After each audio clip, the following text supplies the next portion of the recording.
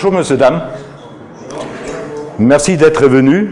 Alors, je me présente Alfred Gessler. Je suis désolé, je ne suis pas français. J'ai un accent. Si ça vous pose problème, n'hésitez pas à me le dire. Non, si j'utilise des mots que vous ne connaissez pas ou avec mon accent, je dis des trucs euh, qui ne sont pas très compréhensibles, il n'y a pas de souci. Euh, je suis agriculteur dans l'Oise, ça veut dire euh, agriculteur 60 km dans le nord de Paris, où on est, ici. J'ai commencé à faire des semi-directs il y a une vingtaine d'années sur ma propre ferme. J'ai importé du matériel euh, des semi-directs du Brésil pendant 16 ans. Et aujourd'hui, cette activité, elle est arrêtée.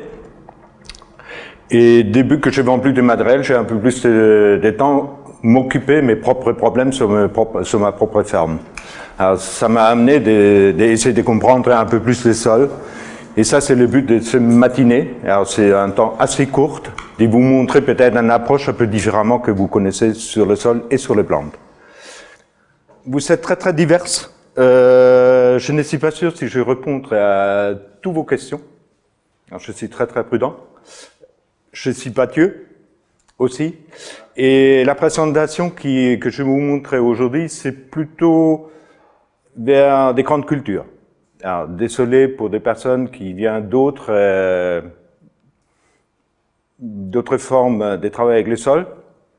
Mais, qu'est-ce que je vous montre ici pour la grande culture? C'est aussi tout à fait applicable ou utilisable dans d'autres systèmes au moment qu'on travaille avec le sol. Alors, bon, tout ça, c'est les différents points que je vais vous montrer. Euh, si on parle des sols, si on parle d'une autre forme de cultiver le, le sol, euh, on a tous appris quelque chose et tous, on est d'accord d'apprendre des nouveautés mais on a du mal à lâcher l'ancien. Dans des formations que j'ai fait à temps en temps, ben, on dit toujours je ne peux pas. Pourquoi tu peux pas? Parce que c'est ci et c'est là. Avec cette idée dans la tête, on se bloque soi-même. Et ça, c'est très très gênant parce qu'on ne trouve pas des ouvertures et on ne trouvera jamais des solutions. Et pour ça, la difficulté de changer quoi que ce soit, ça commence ici dans la tête. C'est souvent la, euh, la tête qui décide qu'est-ce qu'on fait, qu'est-ce qu'on peut obtenir ou pas. Et après, un dicton de Einstein, ben, je trouve que c'est vraiment pas mal du tout. Ben, si on est dans une situation, il faut changer des moyens pour sortir au moment qu'on n'est pas content de la situation où on se trouve. Et pour ça, ben, il faut quand même réfléchir, il faut faire des choses un peu différemment demain, comme on a fait jusqu'à présent. On ne peut pas continuer comme on a fait jusqu'à présent pour sortir de cette situation, de l'impasse pour moi où se trouve l'agriculture. Quelque chose j'ai oublié aussi. Alors, si vous n'êtes pas d'accord, si je vous dérange avec ce que j'ai dit, n'hésitez pas de poser des questions ou le dire. Ça me sert à rien du tout que je suis ici pendant trois heures, je raconte qu'est-ce que j'ai envie de raconter. Non. J'aime bien qu'il y ait une interaction. Pour moi, c'est vraiment la vie. La vie qui est dans sa sol ou qui n'est pas dans sa sol. Et je suppose que vous êtes tous d'accord au moment que je dis un sol c'est vivant. Personne ne dit le contraire. Oui. On verra plus tard qu'est-ce qu'on va faire pour obtenir un sol qui vit. Et dans la vie, qu'est-ce qu'il est aussi important que la vie elle-même? C'est un équilibre. Un équilibre sur la biologie et un équilibre sur la chimie. Si on n'a pas d'équilibre, on peut avoir des éléments qui sont très hauts d'un côté, mais très bas l'autre. Et au moment que ben, ils ne se rejoignent pas, ben, le fonctionnement de la nutrition de la plante, du sol, elle ne peut pas fonctionner. C'est toujours une question d'équilibre.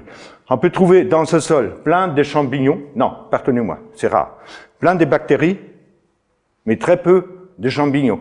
Et les sols ne fonctionnent pas dans ces cas-là. C'est toujours, c'est la vie, mais dans la vie, c'est des équilibres qui sont très très importants. Ça, je trouve, c'est intéressant. C'est ça qu'est-ce que beaucoup de agriculteurs ils, ils s'oublient de temps en temps. L'influence que l'agriculteur il a sur la société. Il a un autre dicton qui dit, bah, dans sa vie, on a besoin au moins une fois un médecin, une fois un avocat, mais trois fois dans la journée, un agriculteur. On devrait dire ça peut-être de temps en temps à la société aujourd'hui. Bon, bref. La fertilité du sol, ça c'est pour moi, c'est les résultats de la vie du sol. Et la fertilité, elle est liée à la biologie. Ça c'est quelque chose qu'on oublie souvent. On le dit, mais avec quelles conséquences? À la physique, et à la chimie. Et tous les trois, ils sont liés ensemble.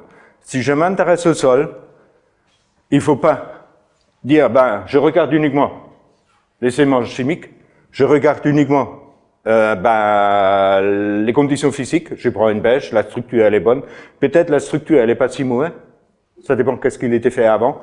Quand la biologie est pas là, la structure va pas rester. Quand la biologie est pas là, les éléments chimiques que les plantes ils ont besoin, ben, ils sont pas libérés. Et la chimie a une influence sur le comportement physique d'un sol, et elle a fortement une influence sur la biologie. Tous les trois, ils sont liés ensemble, et si on oublie un, les systèmes du sol, la productivité, elle n'est pas là, la fertilité, elle n'est pas là. Et je ne sais pas si vous êtes d'accord avec cette camembert.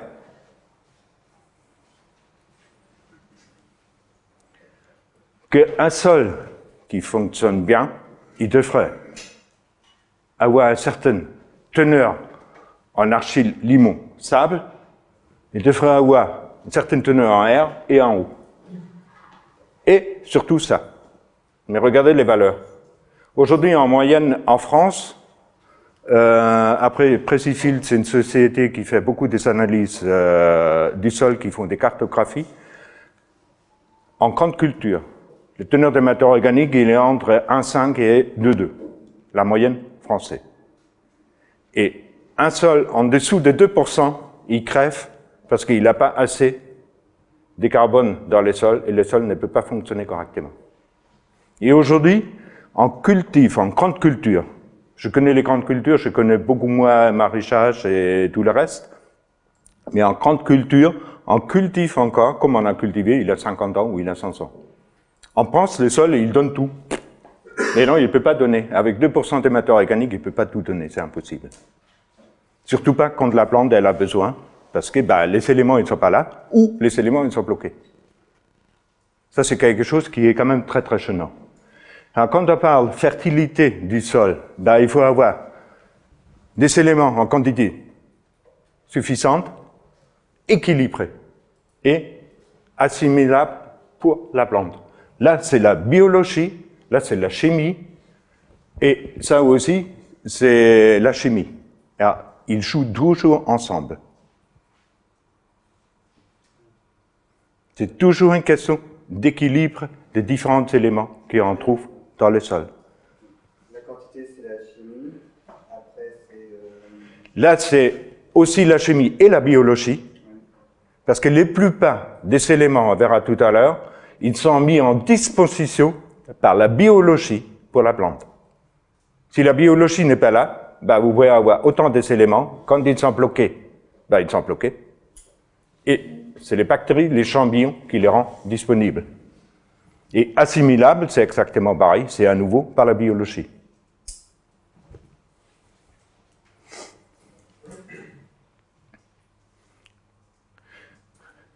Aujourd'hui, la plupart des parcelles en grande culture, je répète, ne sont pas capables de fournir des éléments quand la plante elle a besoin.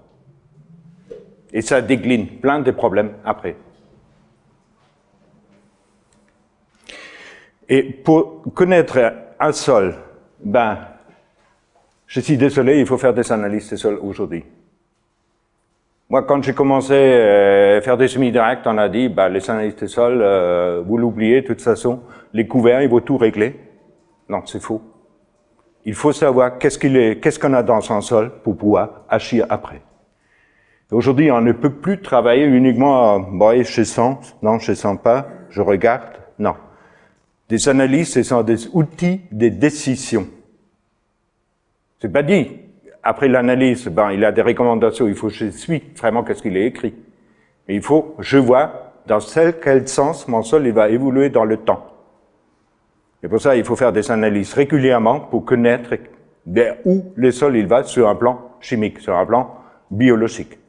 C'est très très important. Pardon? C'est quoi régulièrement? En grande culture, la plupart des personnes, ils disent 300. Moi, je les fais tous les ans. Après, on n'est pas obligé de faire toutes les, parcelles. On prend une parcelle, on regarde qu'est-ce que ça donne, on prend la plus mauvaise, on prend euh, la meilleure, et on regarde l'évolution. Et après, on peut faire des analyses tous les trois ou cinq ans sur le restant des parcelles. Ce sont vraiment des outils de décision. Je ne peux pas décider au moment que je ne sais pas. On applique des engrais aujourd'hui en grande culture, je répète, euh, temps en temps, oui, parce que on a toujours fait comme ça. Mais c'est pas forcément basé sur un certain truc. Et quand on regarde certaines analyses, bah, il manque des éléments qui sont même pas exprimés. Je regarde certaines analyses chimiques, les soufres, teneur de soufre, le teneur de bois n'est pas exprimé. Alors, cette analyse-là, pour moi, elle vaut pas grand-chose. Pour moi, quand on parle d'analyse des sols, c'est toujours la même période. Et ça, soit c'est fin l'automne, début d'hiver, ou sortant d'hiver. Là, au moment, avant qu'on recommence à mettre des engrais, avant on recommence à mettre n'importe quel produit phytosanitaire, toujours le même endroit, toujours la même profondeur, toujours le même laboratoire. Ne changez pas les laboratoires. Ne prenez pas un laboratoire aujourd'hui ici, demain un autre parce que c'est 5 centimes moins cher. Vous l'oubliez complètement. La prise d'échantillons, très très important. Ne mélangez pas les bons et les mauvais. Vous avez une moyenne, ça ne veut rien dire. Je mets une main dans les fricots et l'autre je mets sur, euh, les fours. Ben là, je me brûle et là, c'est trop froid. Mais au milieu, c'est bon. Alors, ça ne veut rien dire. Non. Il faut vraiment faire dans le même endroit, pas mélanger les différentes zones. Tout ce qu'on a en semi-direct, c'est entre 0 à 10. Tout ce qu'on a en TCS, la bourse, c'est sur la profondeur du travail du sol et n'échangez surtout pas les laboratoires. Parce qu'il y a des normes pour les extractions qui sont données, des NF, je ne sais pas quoi, mais les produits d'extraction, ils ne sont pas forcément toujours les mêmes. Et ça donne des résultats différents. Et pour ça, une analyse des sols, c'est un point, et on regarde qu'est-ce que ça donne dans le temps, mais toujours avec les mêmes laboratoires. Si vous commencez à apporter, par exemple, aujourd'hui des, des azotes les soufrés ont une influence sur les sols, qu'est-ce que vous trouvez pendant six mois? Alors si je veux exclure ce problème-là, bah, on le fait avant. Si on fait des analyses chimiques, on peut prendre aussi pendant l'hiver. Moi, ça me dérange nulle part. Des analyses biologiques, c'est un peu différent. Mais même la biologie, entre l'hiver et le printemps, elle change pas autant. Elle est moins active, mais si vous avez des pathogènes dans votre sol, vous avez des pathogènes en hiver, vous avez des pathogènes au printemps. Uniquement, ils sont plus ou moins actifs. De toute façon, quand on fait des analyses de la biologie, c'est toujours là, au ce moment. Ça peut être différent après-demain. Mais c'est pareil, ça change. Entre un sol où il a plein de pathogènes, vous ne le changez pas aujourd'hui à demain pour avoir que des bons.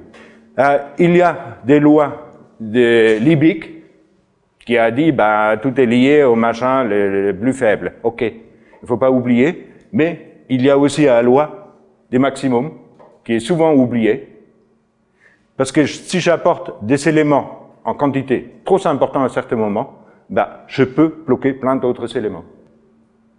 Alors pour ça, à nouveau, c'est une question d'équilibre.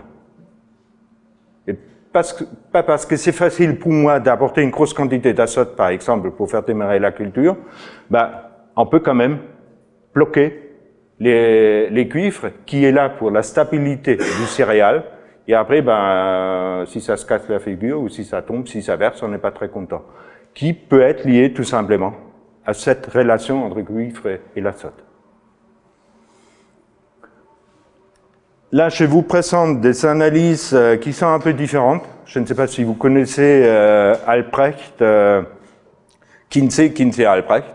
C'est une méthode américaine où Monsieur Albrecht, il a travaillé dessus dans les années 50-60, beaucoup. Et qu'est-ce qu'ils ont fait? Ils ont regardé les différentes matières organiques qui sont trouvées. Ils ont regardé les relations des éléments chimiques dans les matières organiques. Si on accepte que la matière organique elle est importante pour un sol, ben c'est pas très compliqué d'accepter les relations des éléments minéraux dans la matière organique pour les amener sur un sol qui devrait mieux fonctionner. Leur base de réflexion, c'est la relation calcium-magnésium. C'est celle-là qui est très très important parce qu'elle a une influence sur les autres éléments, elle a une influence sur la physique du sol et sur la biologie du sol. Si cette relation-là, elle n'est pas là, les feuilles d'argile, je vous montre ça tout à l'heure, ils sont trop serrés ou ils sont trop écartés. Un sol qui reste humide très très longtemps, souvent il manque du magnésium, parce qu'il n'a pas d'air dedans. Et au moment qu'il n'a pas d'air entre les couches d'argile, ben on a plutôt un sol anaérobique et pas un sol aérobique. Et dans un sol anaérobique, ben, c'est pas la même biologie qui se développe comme dans un sol aérobique. C'est très très important. Alors ça c'est une analyse qui est montrée un peu différemment. C'est toujours, ça c'est la première, euh, les premières valeurs qu'on devrait regarder si on regarde des analyses de sol. Alors, en Europe, on fait pas la même chose parce qu'en Europe, on se passe plutôt sur les exportations, sur les seuils. Mais on regarde pas forcément les équilibres entre les éléments. Mais à nouveau, tout est basé sur un équilibre du sol. C'est cela qui est vraiment le plus important. Ça, c'est un schéma, ben, les feuilles d'argile, et selon la relation calcium-magnésium, ben, ils sont plus serrés ou plus écartés. Et là, ça c'est une question de fertilité chimique, tout simplement. Mais ça donne une influence sur les comportements physiques et biologiques d'un sol. Ça, c'est un sol euh, avec une teneur d'argile entre 10 et 40, 50% Ça, c'est un sol avec une teneur d'argile en dessous des 10. 10 et plus bas. Et après, les 68%, c'est par rapport à l'ensemble des... Ça, les deux valeurs, c'est un rapport du COC du sol. Pardonnez-moi, peut-être j'ai mal expliqué au début. Par rapport à l'ensemble des minéraux, quoi. L'ensemble des minéraux et à 60... Par l'ensemble des cations que le sol peut retenir. Oui, donc les calcium représentent 68%. c'est ça. Si vous avez un CEC, j'ai dit une connerie, des 20, bah, c'est 68% Ouais. qui est tenu par les calciums. Pardonnez-moi, je me suis mal exprimé tout à l'heure. Bon choix. On parle beaucoup des pH. Aujourd'hui, ben, il faut savoir quand même, les pH, il n'est pas uniquement influencé par les calcium. Les pH, il est influencé par calcium, magnésium, potassium, sodium.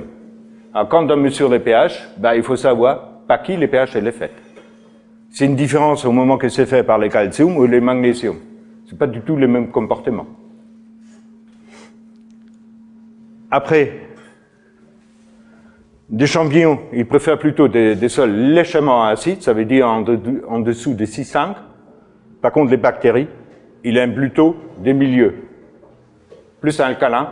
Pour ça, dans les, dans les sols avec des pH très très élevés, ben, on a encore plus du mal de trouver des champignons, comme dans les sols un peu plus acides.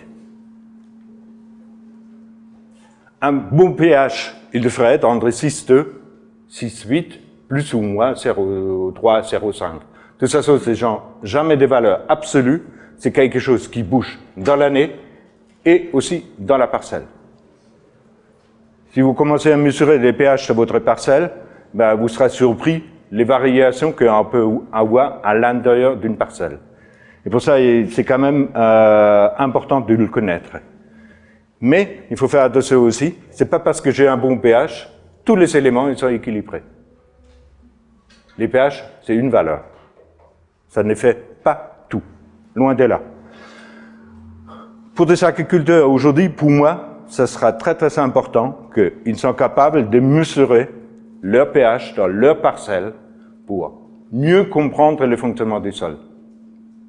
Et, euh, on a plusieurs moyens aujourd'hui de le faire. On a des, outils pour mesurer directement les pH dans les sols. On n'est pas obligé de faire une solution, un mélange terre, eau, distillée, pour secouer un sur quatre et après on tombe dedans, on a de l'eau, on n'a pas. C'est beaucoup plus simple de mesurer en direct. Ça, c'est un outil qui permet d'étalonner. C'est important pour savoir qu'on parle des bonnes valeurs. Ça, c'est un outil sans étalonnage. Ça coûte beaucoup moins cher, mais on n'est pas très sûr parce qu'on ne peut pas contrôler. Après, vous avez des outils très simples. Vous mettez un peu de terre dedans, vous laissez couler un peu des liquides. Le liquide qui sort ici, il donne une certaine couleur et vous regardez les pH qui est après en face. Des bandelettes, c'est possible, mais pour moi, ça sera beaucoup plus pour l'utilisation euh, du liquide, mais pas du sol. Ça, c'est un des tableaux qu'on voit souvent, un pH idéal entre 6,2 6,8, mais regardez qu'est-ce qu'il est marqué à côté. La disponibilité des engrais, elle est influencée par la microbiologie de votre sol. Alors, ce n'est pas uniquement une valeur absolue. Vous pouvez avoir un pH très très élevé au moment que vous avez des plantes qui nourrissent bien la biologie de votre sol. Bah, les pH autour de la racine, il peut être différents. Ça veut dire, la disponibilité des éléments fertiles, elle est supérieure. Mais pour ça, oui, il faut avoir une certaine vie dans les sols. Sinon, ça ne fonctionne pas. Pardon? Le pH euh, conditionne un peu la vie dans le sol. bah, Les pH, euh, il est influencé par la vie. Et la vie, elle est influencée par les plantes. Oui. Et pour ça, tout à l'heure, ma question, vous êtes tous d'accord que la sol est vivante. Et plus je mets des, des, des plantes dedans, plus il sera à nouveau vivante. Ouais, ça.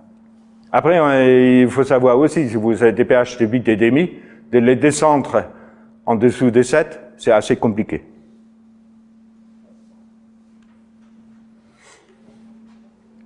Bon, ça, ce sont des valeurs qui sont données par Kinsey que on devrait trouver dans les analyses des sols. Qu'est-ce qu'il est important dans la structure du sol?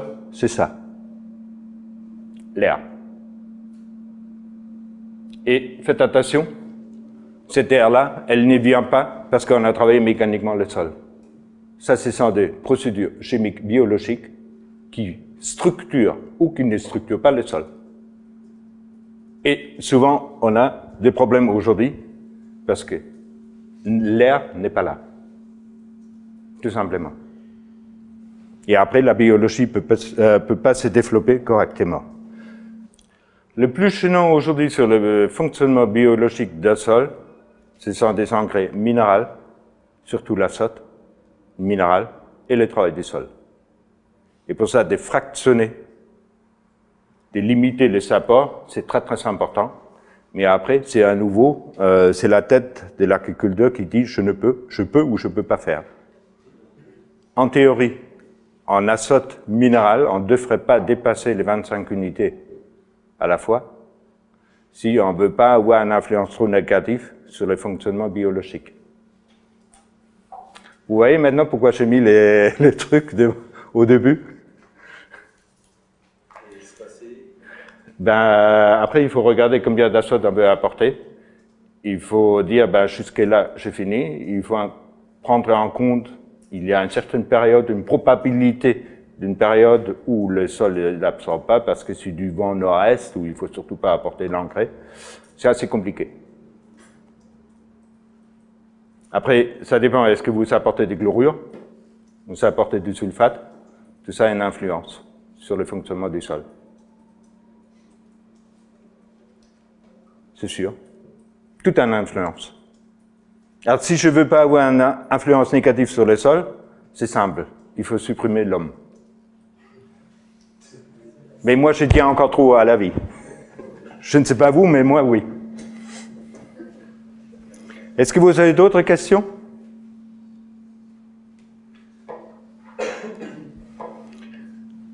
Là, je veux uniquement vous montrer certains éléments minéraux pour que vous voyez à quoi ça sert dans la plante, parce que c'est très très important pour la suite. Alors, le calcium, pour la structure des végétaux, présente dans l'apex, développement racinaire, maturation des graines et des fruits, activateur pour les enzymes. C'est un, un élément qui est très très important, mais il y a certaines situations que ça manque dans la plante. Magnésium, essentiel pour chlorophylle. Très très important. Après, bah, tous les restants, il ne faut pas les sous-estimer. Si je regarde uniquement cette image-là, manque de magnésium, l'enracinement, rien à voir, comme sur l'image ici à droite, où il y a suffisamment de magnésium. On me dit, ben, on fait pas des rendements, les plantes, ils dessèchent, mais c'est un peu logique. Si la plante, elle a eu pas la force de descendre l'eau, je dis une connerie, 50 cm plus bas ou un mètre plus bas, ben, c'est évident. La quantité d'eau à la surface, elle est complètement épuisée, mais il y a encore de l'eau plus bas. Mais si la plante, elle peut pas descendre, ben, elle va jamais les choper. Tout simplement parce qu'il manque de magnésium. C'est très, très, c'est un élément très, très important et sous-estimé aujourd'hui.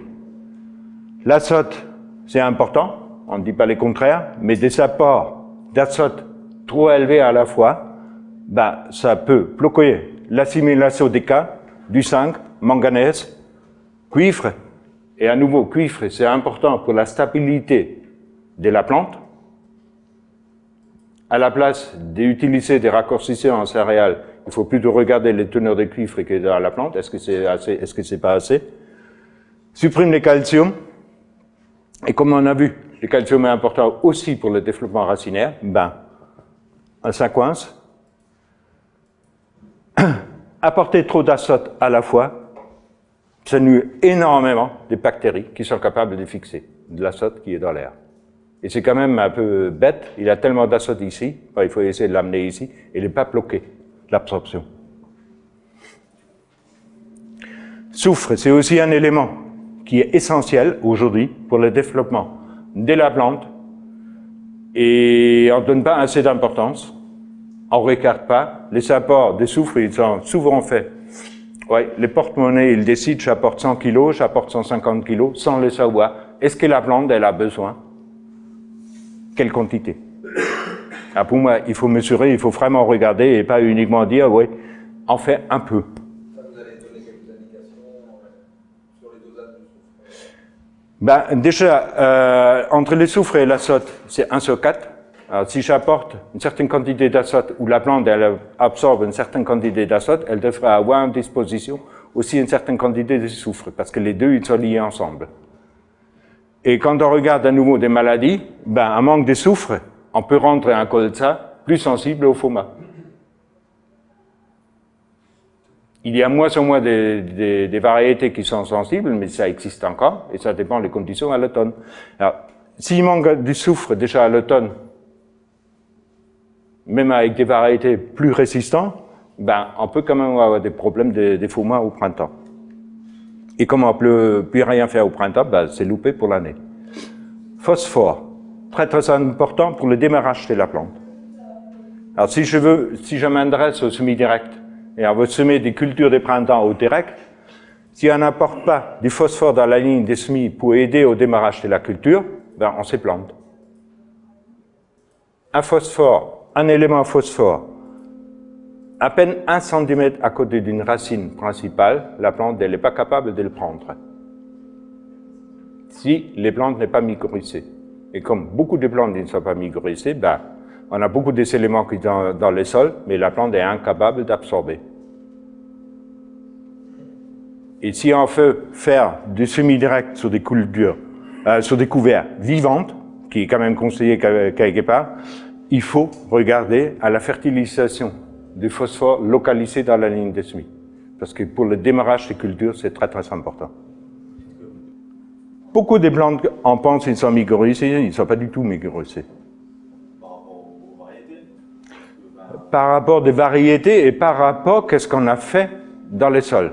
Si je prends un, un blé par exemple, si les charmes ils sortent, la plante a commencé à développer, les champignons, il arrive sur la racine, il dit, est-ce que je peux rentrer? Quand la plante, elle trouve tout dans la solution du sol, elle va dire, non, tu me fatigues, parce que tu veux du sucre. Moi, je te donne pas de sucre, je te laisse pas rentrer, c'est fini. Alors, ça dépend réellement dans quel contexte il se trouve la plante. Mycorhizée, non mycorhizée. On fait un mauvais choix d'espèces découvertes. Il y a des plantes qui sont pas du tout mycorhizées, mais il y a des plantes qui sont pas mycorhizées, mais il empêche la, euh, la mycorhization d'autres plantes. Alors c'est pas uniquement neutre, c'est aussi négatif. C'est pour ça les choix d'espèces euh, de couvertures ou des plantes associées, c'est quelque chose de très très important. Au moment que vous travaillez mécaniquement un sol, déjà d'une, vous avez plus de plantes vivantes, vous l'arrêtez, les plantes, ça veut dire, les plantes, il ne vont plus prendre des éléments qui se trouvent à la solution de votre sol, et comme vous écrasez des bactéries, on les écrase mécaniquement, on libère des éléments. Au moment que j'ai plein de monde autour de la table qui sont vivants et tout le monde est là, des, des crignotés, ben, à la fin, il ne reste plus rien. Et pour ça, il faut l'apporter. Et pour ça, c'est très, très...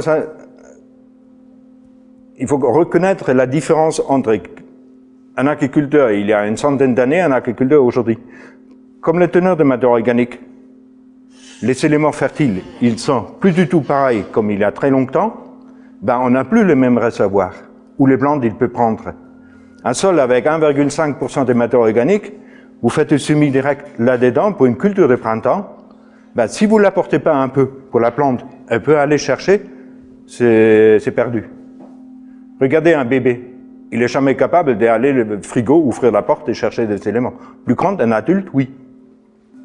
Au moment que on a un sol qui contient 5%, 6%, 8% de matière organique, vous oubliez tout ce que je vais essayer de vous raconter maintenant. Mais comment on n'est pas Pour ça, les constate tout à l'heure, aujourd'hui, les sols français en grande culture, ils sont entre 1,5 à 2,2. Ben, on n'est pas 5. Non, il a un 2 avant, plus un virgule.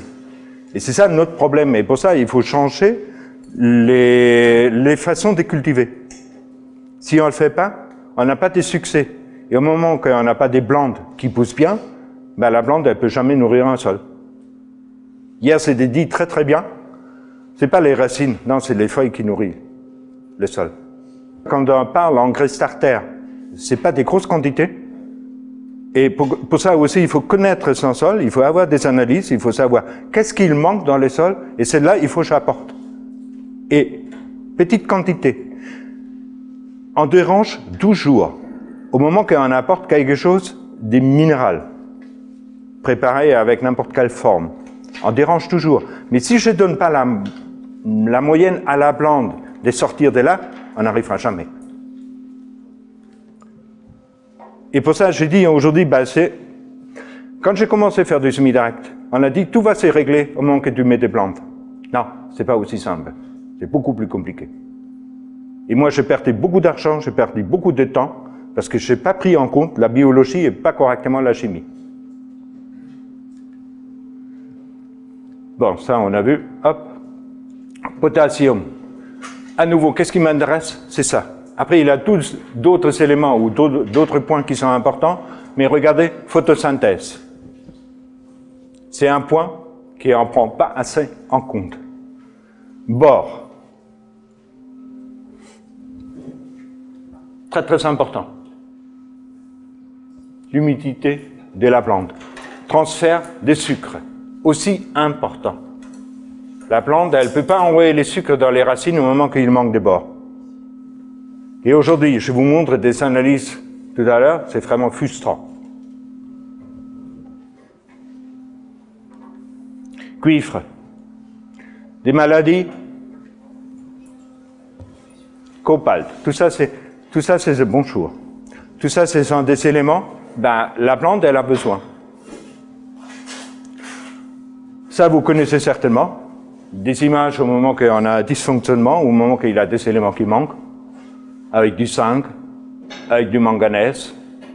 Alors, au moment que, bon, je sais, il y a des personnes qui n'aiment pas du tout ce produit-là, mais il y a des personnes qui utilisent très fortement ce produit, non, fortement, qui utilisent ce produit pour avoir un système fonctionnel, mais dans certains cas, c'est possible que les glyphosates, ils bloquent le manganèse. Si on laissait, ben, il faut l'apporter un peu. Ça, c'est un tableau qui montre les interactions au moment qu'il en a trop ou on n'a pas assez. C'est toujours une question d'équilibre.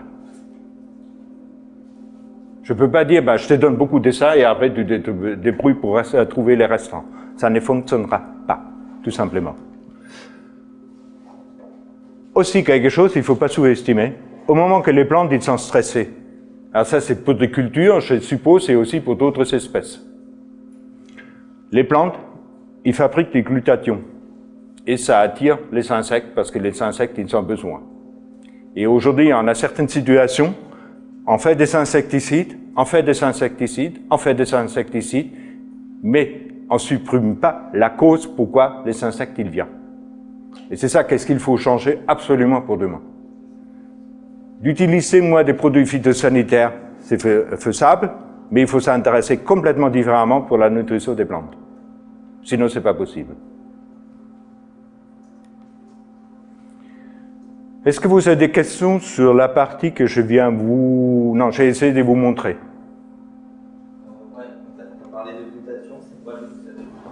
Pardon? C'est quoi les glutations? C'est une substance qui est créée par la plante pour limiter des stress. C'est un antioxydant et les insectes ils ont besoin aussi, et pour ça, il vient les chercher à la plante. Et plus la plante elle est stressée, plus, dans certains cas, elle va fabriquer cette substance. Et elle est stressée parce qu'elle est mal nourrie.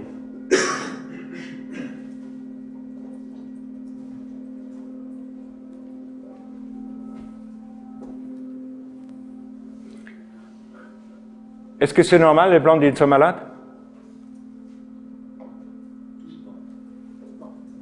Est-ce que c'est normal qu'ils soient mangés par les insectes? N'importe quelle plante, là, aucune importance. Est-ce que c'est dans les chartineries Est-ce que c'est en grande culture? De toute façon, le fonctionnement, il est identique. Pour moi, ça ne change strictement rien. Comment? Oui il y a toujours un certain dégât, c'est normal. Il y a toujours une perte naturelle. Mais sinon, pour moi, c'est pas forcément normal. C'est normal dans la situation où se trouvent les sols aujourd'hui. Parce que les sols n'est pas capable de nourrir correctement. Et aujourd'hui, ben, on regarde les bilans des exportations, on ajoute, mais on regarde pas est-ce que la plante est réellement capable d'absorber? C'est pas parce que je trouve quelque chose dans les sols, c'est des trucs en bas euh, disponible pour la plante ou absorbable pour la plante.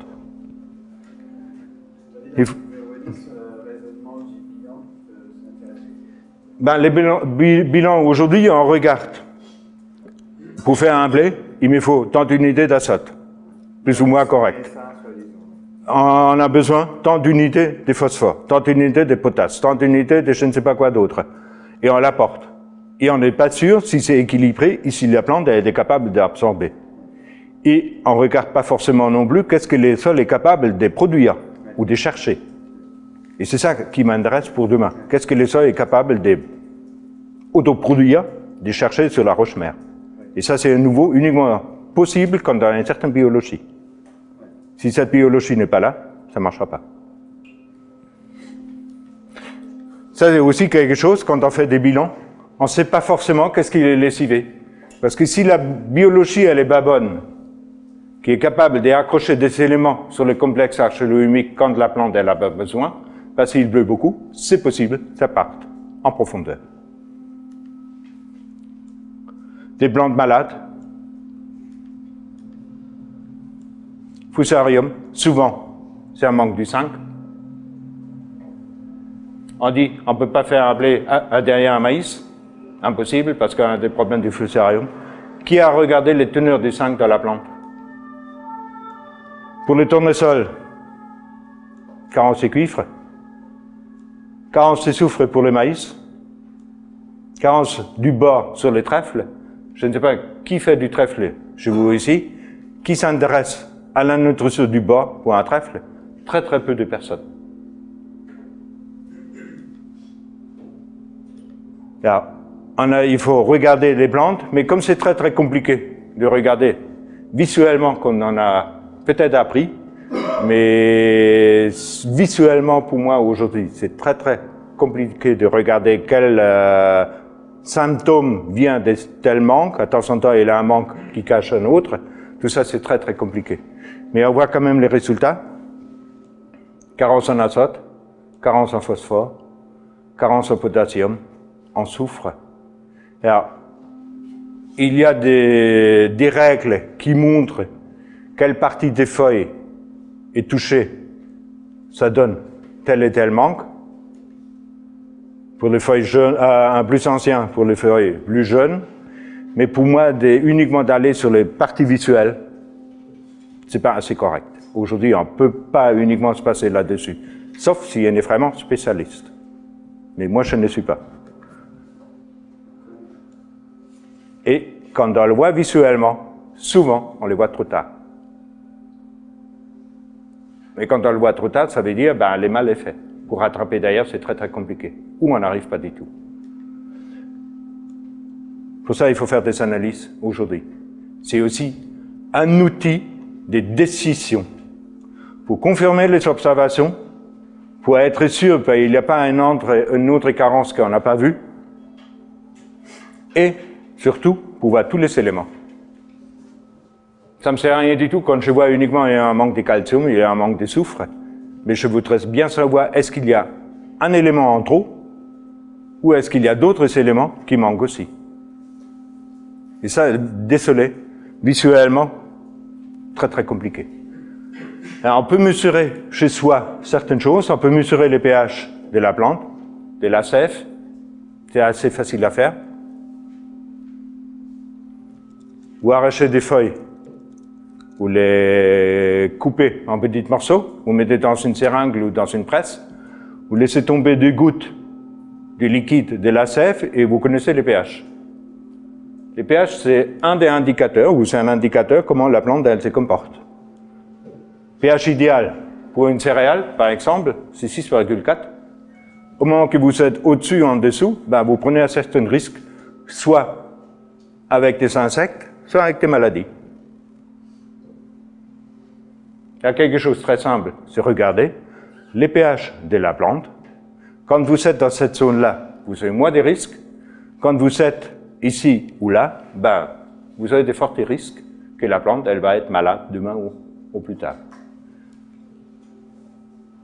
Deuxième outil qu'on peut utiliser facilement dans les cultures, réfractomètre, pour regarder les teneurs des, sucres, des prix, dans une plante.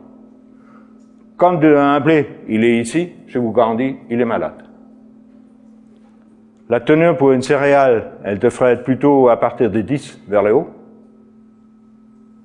Si elle est en dessous, votre plante, elle ne fonctionne pas correctement. Mais ça me dit uniquement la plante, elle ne fonctionne pas correctement moi, je suis incapable de vous dire pourquoi.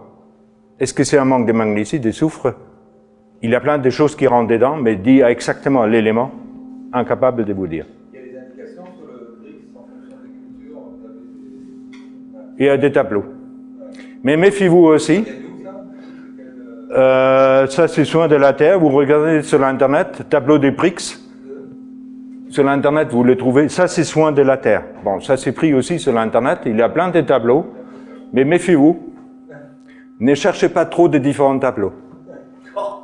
Parce que, comme avec beaucoup des éléments, plus vous regardez, plus vous trouvez des valeurs différentes. Après, c'est pareil, la mesure des prix, c'est pas quelque chose, ou de la pH, des absolus. Il faut regarder qu'est-ce que ça donne dans le temps. Je commence aujourd'hui et toutes les semaines, je regarde ou quand il y a des stress, plus souvent. Oui,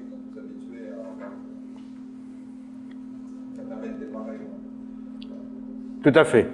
Alors, maintenant un peu plus concret. Oui, c'est ça qu'est-ce qui est plus intéressant, mais il fallait que je montre quand même pourquoi les éléments et ça là, à quoi ça sert, parce que pour aller plus loin, c'est pour moi c'est très important.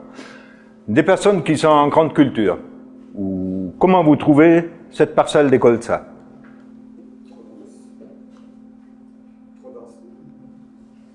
Trop tru Trop tru, c'est pas un colza associé, d'accord Mais sinon, moi je trouve cette parcelle des colza, elle est correcte. Ils sont bien vertes. Si j'étais capable de faire du colza tous les sons comme ça, moi je signe en bas. Non, non, il ne faut pas dire différemment. Mais, on a fait, on a pris cette photo-là, c'est une parcelle des colza qui est différente semi-direct, et on a pris un échantillon des feuilles, et on a laissé analyser, et là c'est ça. Alors je ne sais pas, si vous connaissez des analyses foliaires, c'est quelque chose que nous incite beaucoup de personnes de le faire, pour regarder vraiment la nutrition de la plante. Et là on voit, il manque de magnésie, il manque du bord. Alors, tout à l'heure, magnésie, chlorophylle, bord. C'était quoi les bords J'ai oublié. Ah, ça y est, vous savez pas faire attention non plus. Transport de sucre, très très important. Mais euh, euh, c'est bien vert. Hein. Et voilà, merci bien. C'est des bien verts. On ne peut pas dire le contraire. C'est bien vert. Et pour ça, il ne faut pas se confier au seuil. Ça, c'est un... Il ah a des taux. Non, j'ai raccourci. Il a des taux, il a des recommandations. Alors, manque de magnésie, réaction pour des enzymes, mais chlorophylle, bord, essentiel, transfert des sucres, éclatement du collet. Ben, vous savez, des différents laboratoires. Moi, je travaille avec un laboratoire dans les États-Unis. Non, c'est pas mieux, je ne dirais du tout. Je n'ai pas trouvé pour l'instant, je n'ai pas trouvé. Et récemment, je n'ai pas cherché équivalent en France. C'est les Stella, ils ne font pas des analyses foliaires Ils le font. Euh, oui, mais il faut savoir aussi donner des recommandations après. Quand moi je fais des conseils pour des personnes qui m'envoient des analyses, c'est pas moi qui va dire bah tu apportes ça, ça, ça. Je vois plusieurs fois dans les États-Unis et dix jours après, 15 jours après, on a les résultats. Euh, là, c'est je vais revenir là-dessus. Ce sont des feuilles qui sont séchées pendant une nuit dans les fours à 80 degrés.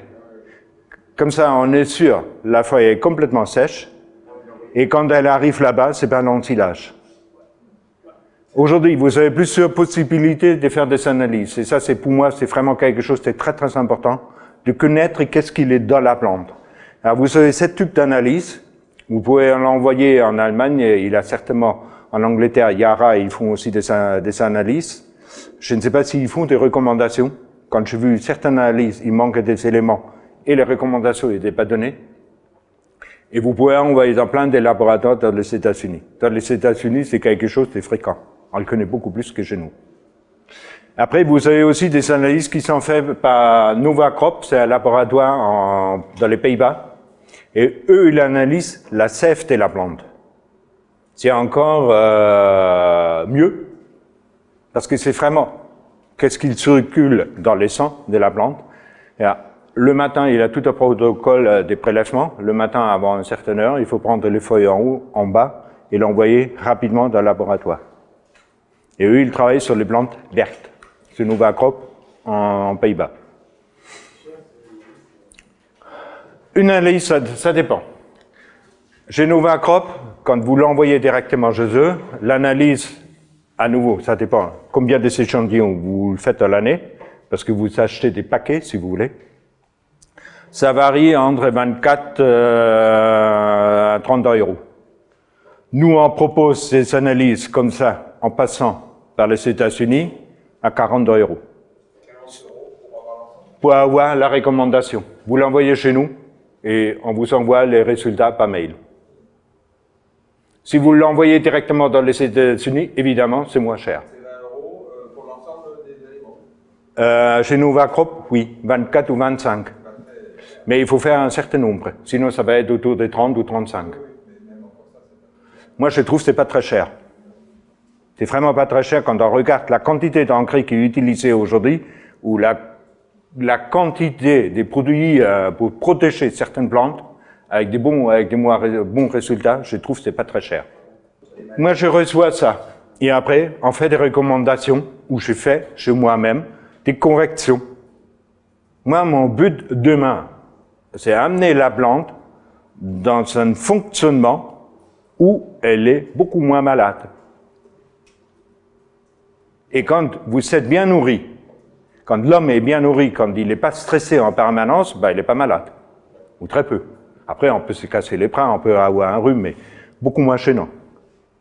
C'est vraiment c'est une question de nutrition. Et là, je vais vous montrer quand même certaines.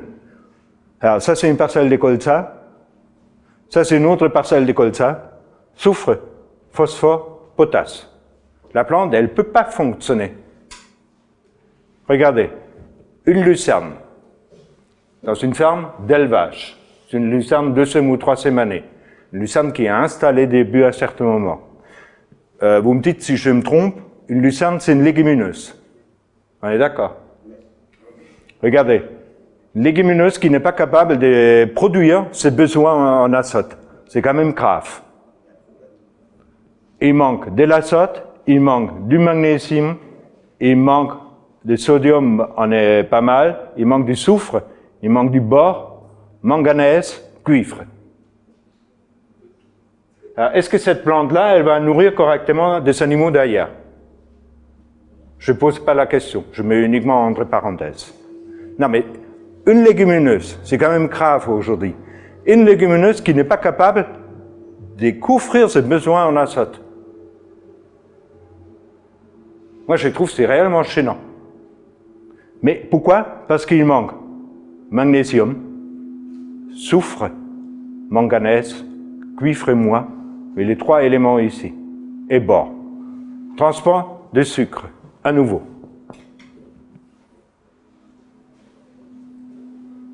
Alors, on fait cette production-là, ben, la plante, elle n'est pas en forme, la plante, elle va choper des maladies, c'est tout à fait normal.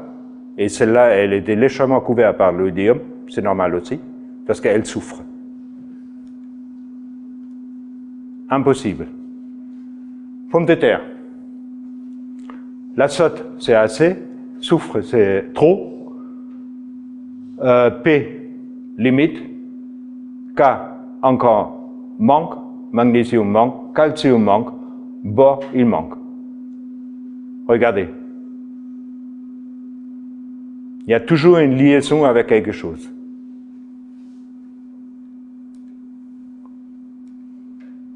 Pétrave. Trop de potassium. Magnésium ici, ça va. Calcium, ça manque. Développement racinaire, tout à l'heure. La structuration, la structure de la pétrave, pas bonne. Apex, pas bonne. Là, on a trop de cuivre, je ne sais pas pourquoi, ça je ne peux pas vous répondre, il a certainement des... Quand on regarde la liaison entre une malnutrition et des maladies, là c'est un exemple, c'est une culture de maïs. Jambon du maïs, ça existe quand même un temps en temps. Après, c'est une question des variétés, des variétés qui sont plus sensibles moins sensibles. Lié à quoi? Manque de calcium, phosphore.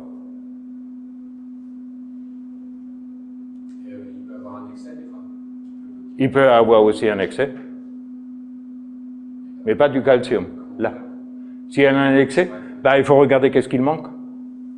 Parce que souvent, ils sont toujours liés ensemble, les éléments. S'il y a un excès ici, ça veut dire qu'on a un manque l'autre côté. Bah, il faut compenser. Et pour ça, on ne peut pas deviner. On ne peut pas deviner, il faut le savoir, il faut mesurer. Et c'est quelque chose, aujourd'hui, bah, vous regardez ça, quelque chose qui en effet pas. Et pour ça, je disais, on cultive encore aujourd'hui comme on a cultivé il y a 50 ans ou 100 ans. Mais avec plus le même sol, parce que le sol n'est pas capable de donner ça à la plante. C'est impossible. Il ne peut pas donner qu'est-ce que la plante, qu'est-ce qu'elle ne trouve pas. Et si on va un peu plus loin, euh, je ne sais pas si ça vous dit quelque chose, euh, John Kempf, euh, c'est un jeune euh, américain qui travaille énormément sur la nutrition du sol, nutrition des plantes. Et c'est lui qui a sorti la pyramide euh, de la santé de la plante. Parce que si la plante, euh, il faut bien prendre en compte, si la plante elle n'est pas en forme, votre sol ne sera jamais en forme. Vous pouvez lui apporter qu'est-ce que vous voulez, si celle-là n'est pas en forme, votre sol n'est pas en forme. Il n'a aucune importance si je fais du jardin, si je fais des légumes, si je fais la grande culture. C'est tout à fait toujours les mêmes procédures. Ça ne change rien du tout. Il faut avoir une bonne nutrition pour une photosynthèse, elle fonctionne correctement. Comme ça, on nourrit correctement la biologie qui est capable de nourrir la plante après. Mais il faut avoir des taux suffisants en magnésium, fer, manganèse, azote et phosphore. Et ça, je vois à nouveau uniquement quand on fait des analyses. On ne les voit pas visuellement.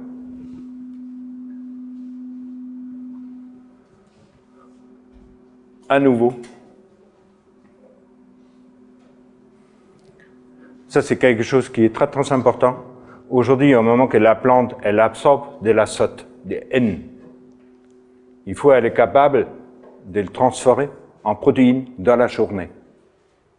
Si elle n'arrive pas, on a trop d'N dans la plante qui va appeler à nouveau des insectes parce que la plante, elle n'est pas en forme.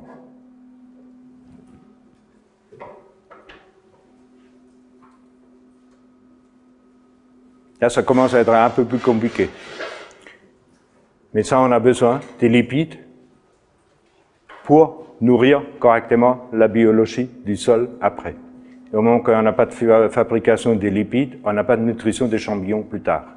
Aujourd'hui, cette personne-là, Kempf, il, dit, et je suis d'accord avec lui quand je regarde les analyses foliaires, euh, l'efficacité de la photosynthèse aujourd'hui, elle est peut-être entre 30 à 40% Et quand l'efficacité des photosynthèses elle est pas bonne, les sucres ou les lipides après, ils ne sont pas du tout pareils comme si la photosynthèse elle est bonne. Si, si vous avez des panneaux photovoltaïques sur le toit, vous cherchez une efficacité la plus élevée possible. Et on fait tout pour l'obtenir. Mais en agricole, aujourd'hui, souvent, ben on regarde, oui, on est content avec ce qu'ils sortent, entre guillemets, naturellement. On met un peu d'azote, on met un peu de phosphore. Mais on regarde pas forcément si la photosynthèse, elle fonctionne le mieux possible. S'il manque de magnésie, elle peut pas fonctionner. S'il manque du soufre, elle peut pas fonctionner. Et dans les analyses, c'est pour ça c'est important de faire des analyses, on le voit, souvent, il y a des manques. la photosynthèse, les sucres, les glucides, les lipides, ils ne sont pas envoyés correctement dans le sol. Et si vous n'avez pas un envoi des lipides dans les sols, vous n'arrivez pas à nourrir une certaine biologie, une certaine forme de champignon. Et aujourd'hui, on va venir encore, les champignons, ils nous manquent essentiellement dans nos sols agricoles. Regardez ici des images. On a fait des essais chez nous pour regarder les comportements des différents couverts, qu'est-ce qu'ils sont capables pour donner quelle influence sur la biologie du sol. Mais on a constaté d'autres choses qui sont pour moi encore aussi intéressantes. Ah, ici, à gauche, vous avez un sol avec 2% de matière organique et à droite, vous avez un sol avec 4% de matière organique. On a semé des plantes dedans, de différentes espèces, et on a laissé pousser. On n'a rien fait d'autre. On n'a rien corrigé, uniquement regardé comment la plante elle, se développe. Regardez, droite-gauche, gauche-droite. Pas du tout le même comportement. C'est beaucoup plus verte, c'est beaucoup plus volumineux. Regardez les colza. Là, il est légèrement touché par les insectes, mais il s'est quand même développé nettement supérieur qu'ici. Et le pire, c'est celle-là. La moutarde. Et je vous garantis, les deux sauts de terre, ils étaient pendant toute la période côte-côte. On ne peut pas dire l'insecte la moutarde ici, elle était presque aussi bonne qu'ici. Et les insectes, ils ont diminué les volumes de la moutarde en l'abstant de deux jours. Et on est bien d'accord, l'insecte qui vient ici, il n'est pas trop feignant pour aller ici au moment qu'il trouve quelque chose qui lui a... Non, on est d'accord. Mais regardez, c'est vraiment les sols qui nourrissent la plante, la plante qui se développe mieux ou moins bien. C'est quand même euh, choquant. Et quand on regarde à nouveau toutes les analyses des plantes, ben, désolé, souvent on est ici. C'est ça qui explique qu'aujourd'hui, ben, on a besoin des insecticides, on a besoin des fongicides pour protéger la plante. Mais le souci, on protège la plante, mais on ne sait toujours pas adresser à la cause. Pourquoi la plante, elle attire des maladies des insectes? C'est une question de nutrition. Et comme nos sols ben, ils ne sont pas 5% des matières organiques ou pas 8, comme ils devraient être, ben, il faut regarder quel levier on a aujourd'hui de rendre le sol différemment. Il ne faut pas oublier 85 à 90% des éléments nutritifs, passent par les micro-organismes. Alors, qu'est-ce qu'on fait aujourd'hui pour nourrir là? On parle des nématodes. On veut faire la pétrave, on veut faire la pompe de terre, bah, les nématodes, ça nous dérange. Mais il a combien des mauvais et combien il a des bons? Il a 5, 10 espèces de nématodes ou variétés de nématodes qui sont pas bons, 10 sur les 200 ou 300 qui sont bonnes. Mais on supprime celle-là, mais on regarde pas qu'est-ce qu'on fait avec les restes. Et si je ne nourris pas, ben, ils ne sont pas là.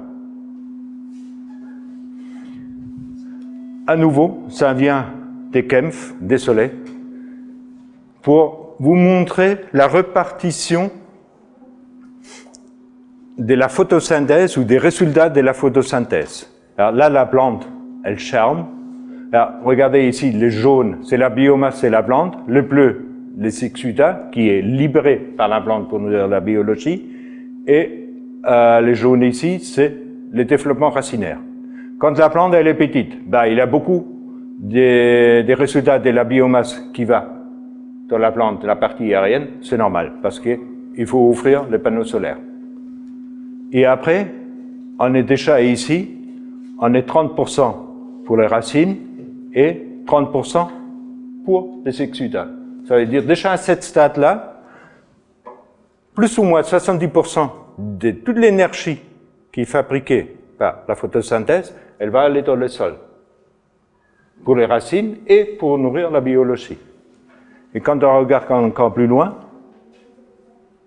toute cette partie-là, elle est envoyée dans le sol pour nourrir le sol.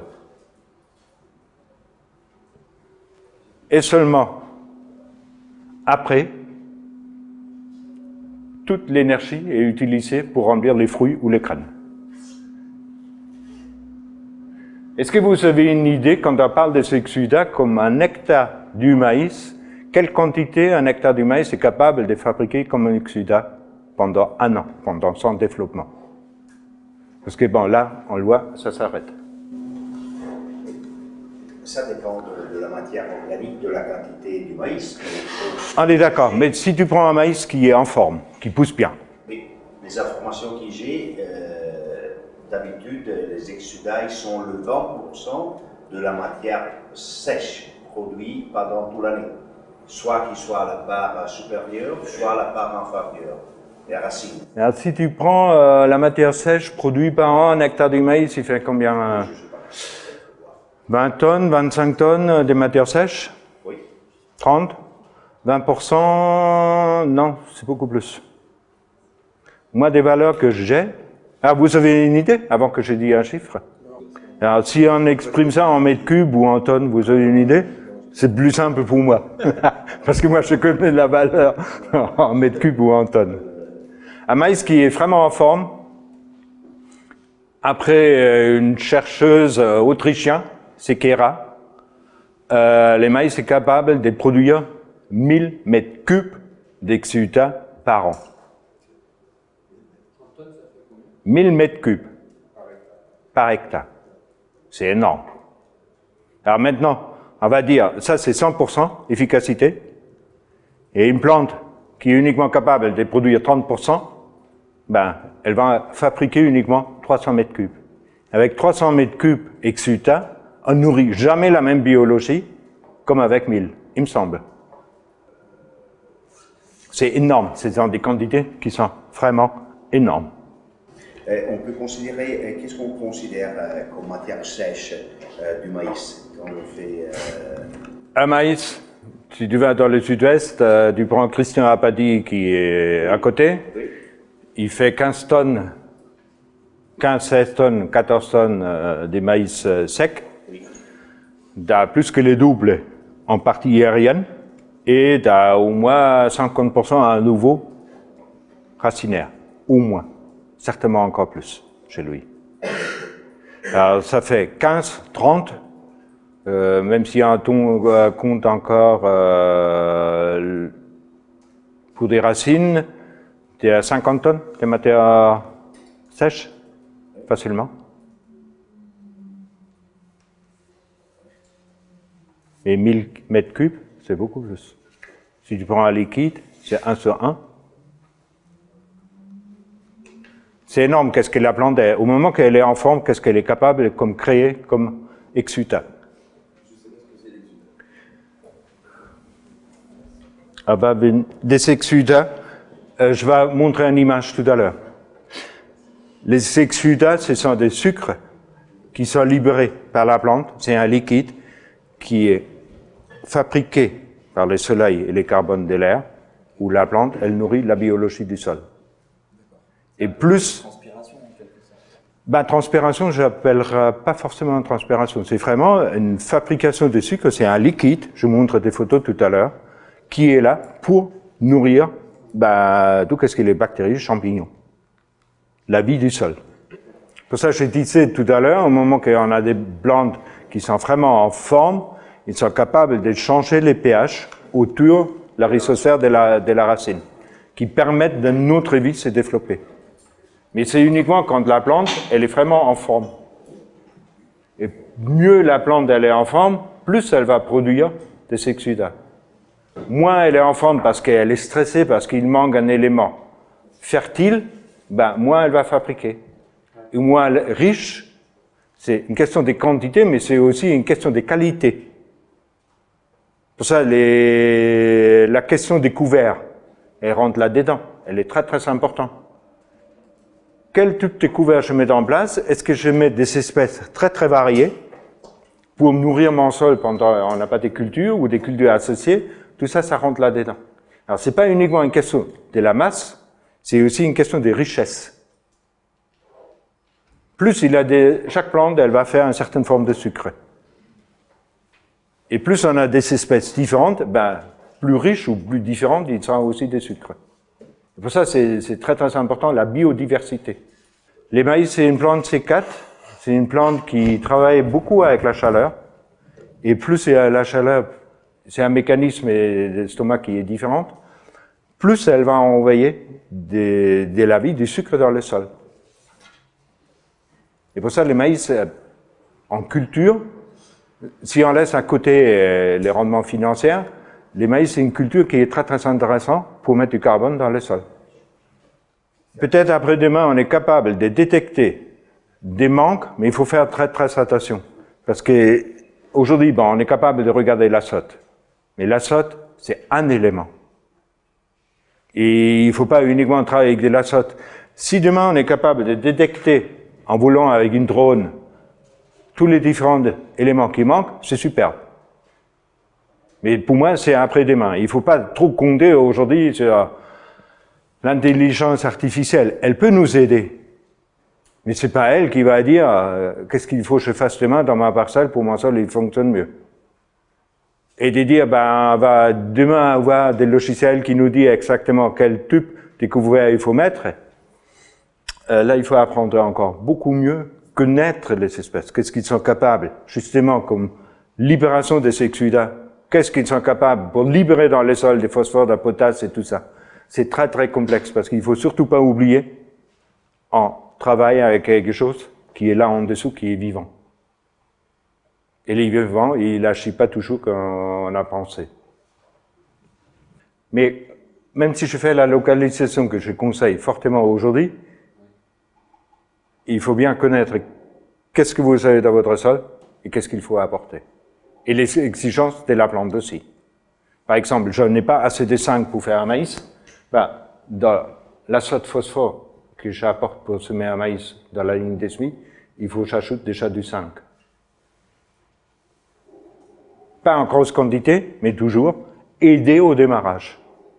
Et plus il manque dans les, dans les sols ou dans les analyses, plus complexe on devrait avoir l'engrais starter. Le problème pour moi aujourd'hui, si je ne veux pas travailler mon sol, même si on a des couverts en place avant un maïs par exemple, les couverts ils sont retenus plein de éléments. Mais il ne faut pas libérer au jour de la germination des mon maïs. Pour ça, même en bio, il faut que je regarde bien qu'est-ce que la plante elle a besoin pour le démarrage. Et en bio, on peut travailler aussi avec des engrais organiques qui ne sont pas tout à fait le même effet de démarrage, mais légèrement décalé vers l'arrière, il peut quand même aider à pallier. Mais du coup, de prévoir bien en amont, bien en avant. Euh... Par exemple, on pourrait faire avant. Aujourd'hui, il y a des personnes qui font du structile, quelque chose que j'aime pas trop, mais bon, ça se fait quand même. Ça veut dire, quand on fait du structile en bio, pour faire une future maïs, il faut l'apporter l'engrais organique dans la future ligne des semis du maïs pour l'engrais disponible, vraiment disponible au moment que je sème les maïs. Parce que si je fais les deux au même moment, ben, si vous avez des conditions un peu frais, euh, froids, vous n'avez pas beaucoup des éléments qui vont se libérer à partir des engrais organiques. Ça, c'est l'avantage, entre guillemets, l'avantage euh, du système classique. Sans pousser avec des grosses quantités, mais donner pour le démarrage. Ça, c'est quelque chose qui est très, très important. Et moins on travaille les sols, moins va écraser mécaniquement la vie biologique, moins on a une libération des éléments. Et si vous avez des couverts qui poussent très très longs jusqu'au moment du semis d'une nouvelle culture, bah, les plantes, ils sont vivants, ils vont tout prendre à la surface, qu'est-ce qu'ils trouvent pour se nourrir. Tout à fait logique. Et ça, c'est ça aussi des erreurs qui sont faites souvent en application de semis direct au, démarrage, ben, on n'a pas aidé à la plante. Et comme le sol est très, entre guillemets, assez pauvre, ben, lui, il ne fournit pas grand-chose. Par rapport à l'acidité d'un sol, est-ce que la localisation peut, peut limiter l'impact Oui, mais si un sol il est acide, il faut quand même s'adresser à tout le sol, pas uniquement sur la ligne des semis. Parce que si vous avez un sol qui est réellement acide, vous n'avez pas les bons fonctionnements biologiques. Il faut le remonter, vous pouvez faire qu'est-ce que vous voulez.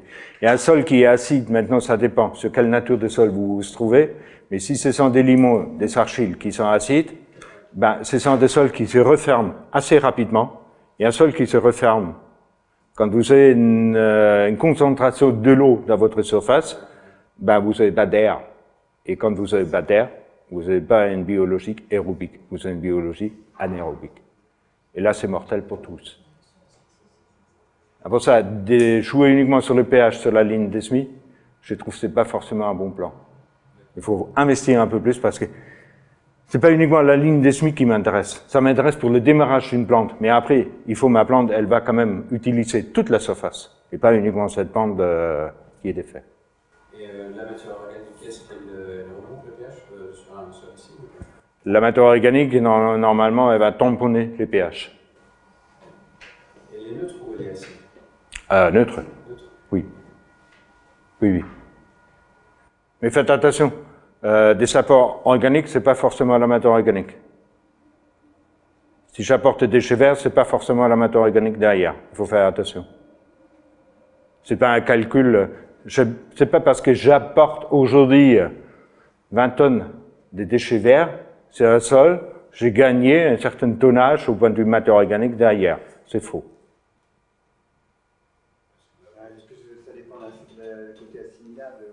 Pas uniquement. Ça dépend de votre biologie, qu'est-ce qu'elle est capable. Aujourd'hui, euh, toute la biologie est capable de dégrader tout qu'est-ce que vous l'apportez. Mais on ne sait pas qu'est-ce qu'on fait derrière avec. Ça, c'est notre biologie. La décomposition aujourd'hui, euh, c'est très drôle, euh, les tests et slip qui est fait aujourd'hui, on prend du slip, on le met dans le sol, on regarde trois mois après comment il est dégradé. C'est une image d'un sol qui est capable de dégrader ou de décomposer, pas dégrader, pardonnez-moi, de décomposer, mais on ne sait pas qu'est-ce qui se passe avec les éléments de décomposition. Est-ce que le sol, il laisse vraiment un degré dans l'humus? Et pour ça, il faut avoir une certaine vie. Et si cette vie biologique n'est pas là parce qu'elle n'est pas nourrie, ben, ça ne peut pas fonctionner. Aujourd'hui, vous pouvez apporter du carbone, ça vous sert strictement à rien. Vous êtes euh, capable d'apporter, par exemple, par, euh, vous faites du carbone, euh, les charbons du bois, c'est du carbone. Si vous l'apportez ça, c'est inerte. Oui. Si j'amène pas la vie avec, ça ne sert à rien du tout. Et pour ça, c'est très très intéressant de connaître quand même la vie biologique d'un sol. De décomposer, c'est une chose. Et c'est ça la différence, on verra tout à l'heure, entre la matière organique et l'humus. L'humus, il a la partie, entre guillemets, vivante avec.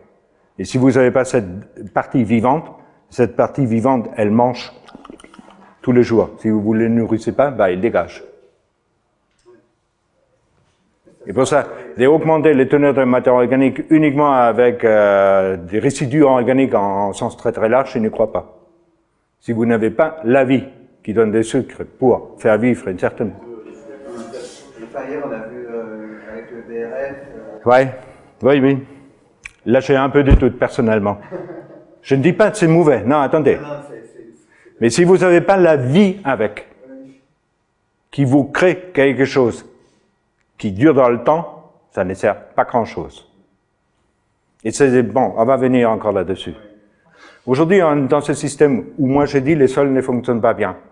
Et on constate qu'ils ne fonctionnent pas bien. Pour ça, il faut faire des analyses de sol. Il faut regarder qu'est-ce qu'il faut corriger. Je n'ai pas dit comment il faut faire pour l'instant. Mais il faut savoir. Il faut connaître l'état de la plante. Alors, je peux agir sur le sol. Au moment qu'il manque des magnésies sur des quantités énormes, ben, il faut quand même commencer à corriger sur le sol. Et si je constate après il manque sur la plante, ben, il faut agir sur la plante. Si demain, on est malade, on va aller voir un médecin. Le médecin, il laisse faire un triste sang. Quand il constate il y a un dysfonctionnement, ben, il va dire, pas dire au revoir. Il va quand même regarder comment il peut corriger les dysfonctionnements. Et il faut faire pareil avec les plantes. Pour les plantes, à nouveau, il vient être efficace. Une photosynthèse à 30%, elle sert à personne, c'est zéro. Il faut avoir des panneaux solaires qui sont dehors, qui sont fonctionnels. Ça, c'est ben,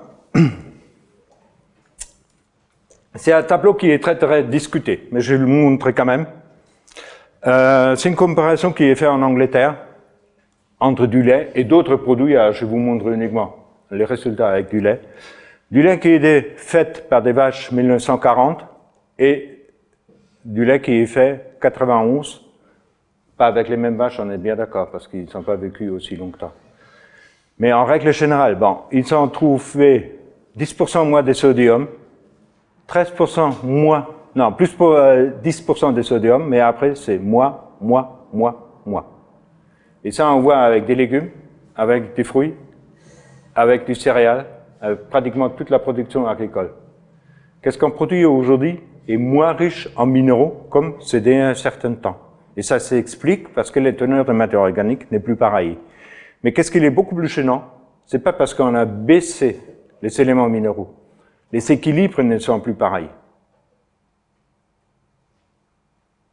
Et ça, c'est beaucoup plus gênant. On parle toujours équilibre. C'est l'équilibre équilibre qui est très très important. Perte matière organique, l'humus dans le sol. Et pour ça, à nouveau, je vous montre cette camembert qu'on trouve dans les anciens livres d'agronomie. Et aujourd'hui, à nouveau, les teneurs actuelles sur les sols français, c'est entre 1,5 et 2,2. Même 2,5, aucune importance. Mais on est encore très très loin d'ici. Et pourquoi c'est important? C'est uniquement un calcul. Si on prend un sol sur 10 cm de profondeur avec une densité de 1,4, on est à environ 1400 tonnes de terre. On est d'accord. Maintenant, on peut dire en semi-direct, il est plus dense, il est moins dense, on s'en fiche complètement. C'est uniquement pour avoir des idées, une réflexion. Un sol avec une teneur de matière organique de 1, on peut prendre des 1,5, c'est 50% en plus, il contient environ 1000 unités d'azote. Un sol avec 4% de matière organique, ben, il est quand même à 4000 unités d'azote. On est d'accord, on va jamais utiliser ça. Ni là, ni là. Mais déjà, la répartition est là. Et ça, avec tous les éléments.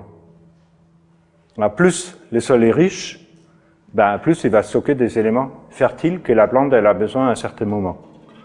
Et pourquoi c'est important? Conditions physiques, un sol, il change complètement.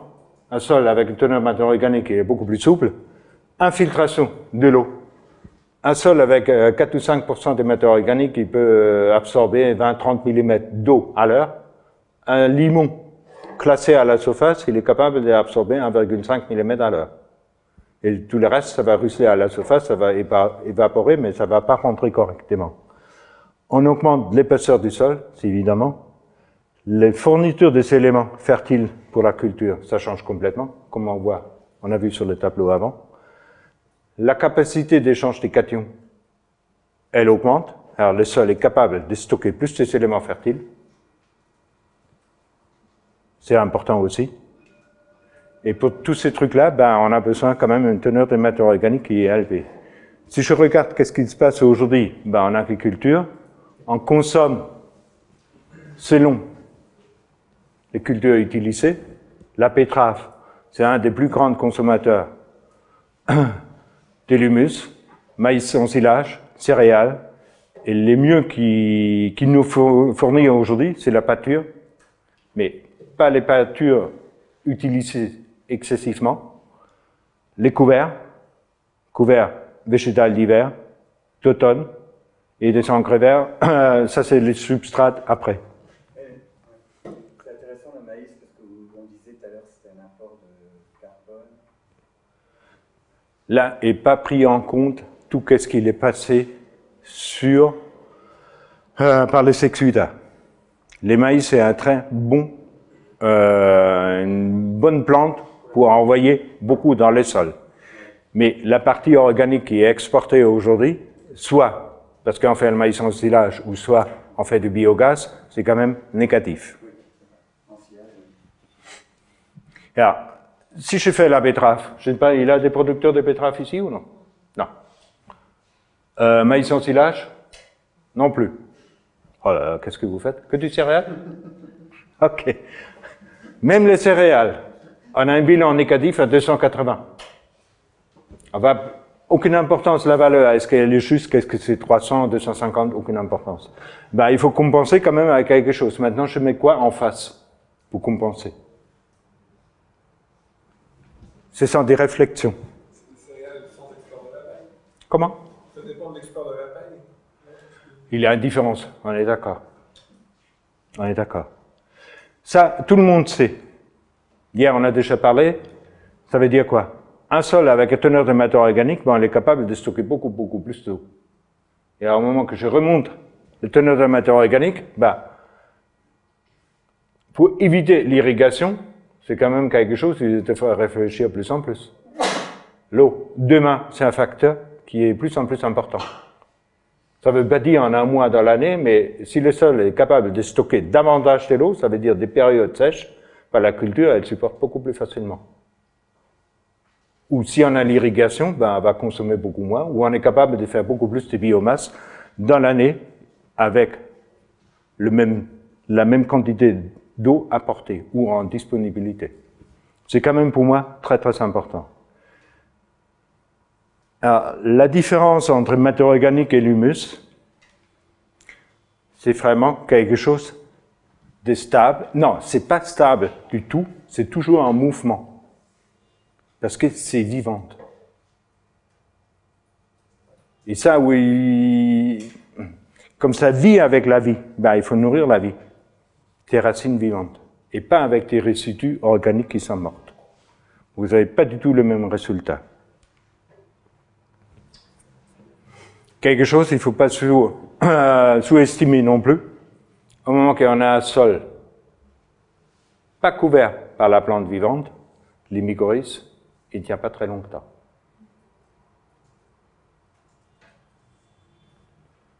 Et les aussi, ils n'aiment pas trop le travail mécanique, ou plutôt pas du tout. Tout ce qui est champignon est mort. Et pour ça, il y a une grande différence entre les bactéries, le comportement des bactéries et le comportement des champignons. Et à nouveau, c'est une question d'équilibre, on a besoin des deux. Et en théorie, je dis bien en théorie, c'est un sur un champignons, bactéries, ça te ferait égal dans les parcelles cultivées. Dans la forêt, c'est différent. Un sol qui fonctionne bien, on a des plantes qui prient, pas des plantes qui s'empalent. Et ça donne des images sur la biologie du sol qui sont de cette manière-là. Je ne sais pas, vous connaissez la chromatographie du sol? Pas du tout? Aucune personne? Non, chromatographie. Elle va venir encore tout à l'heure. Vous le connaissez? Je vous montre ça tout à l'heure parce que c'est quelque chose, bah, j'aime bien de parler avec des images. Bon, est-ce que ça vous convient? Les sols, les plantes, les animaux.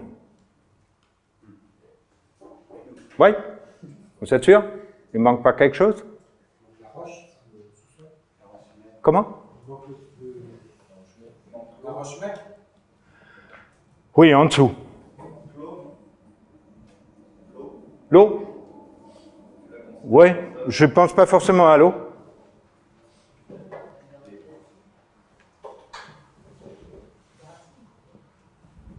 Les vivantes. Vous l'avez dit tout à l'heure, la qualité du sol, c'est les vivants. C'est ça qu'est-ce qu'on voit aujourd'hui. On voit les sols, les plantes, les animaux. Mais on ne voit pas à l'intérieur du sol les vivantes. Et un sol, il peut uniquement fonctionner où on a des racines et des micro-organismes. Et tout ça, ça vit à nouveau énergie solaire. Alors l'eau, elle est effectivement, elle est dedans, c'est clair. Un sol complètement desséché, ça va pas faire grand-chose. Mais on a vraiment besoin de micro-organismes qui assurent après le fonctionnement d'un sol.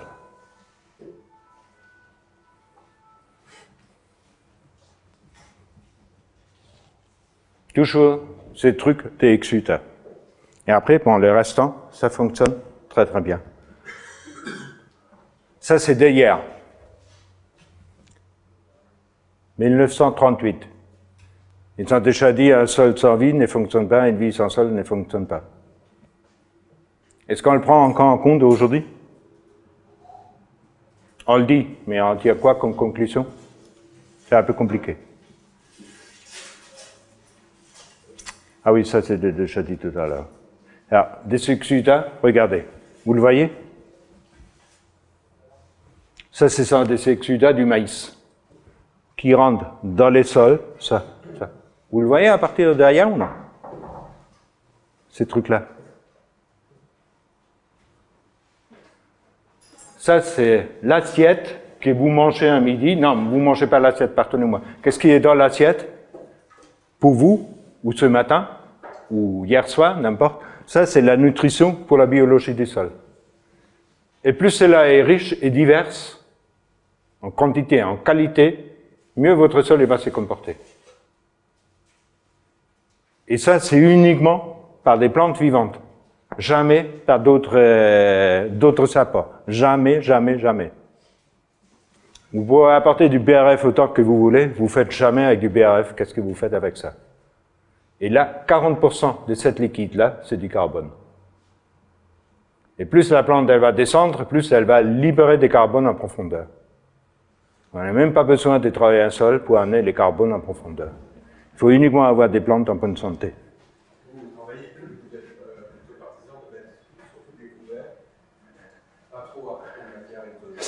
Vous euh, savez, j'ai rien contre des apports, mais au moment que vous voulez appliquer ça sur des surfaces beaucoup plus importantes, où est-ce que vous trouvez la surface? Et là, il y a vraiment une différence entre... Voilà. Les maraîchages, ils ont des réponses beaucoup plus rapidement que nous en grande culture. Pour ça, je dis, je parle plus pour grande culture. Je ne suis pas du tout contre les restes. Mais au moment qu'on veut multiplier ça par, je ne sais pas, 100, 1000, ben, il faut trouver quand même d'autres euh, d'autres portes des sorties. Oui, tout à fait. Ben, de toute façon, les résidus, ils sont toujours là. La racine qui meurt parce que la plante, elle change, ils sont toujours là. La paille est toujours là, il n'y a aucun souci. Est-ce que vous savez qu'un arbre, il peut couvrir une surface de 130 hectares avec ses racines? Un pied des siècles. Il peut faire 600 kilomètres.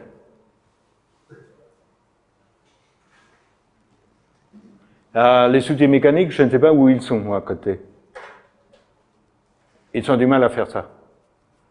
Si je prends la surface racinaire d'un arbre qui fait 15 mètres de hauteur, un feuillu qui est en forme, il peut aller, la surface racinaire plus la surface foliaire, et pour couvrir jusqu'à une surface de 200 hectares.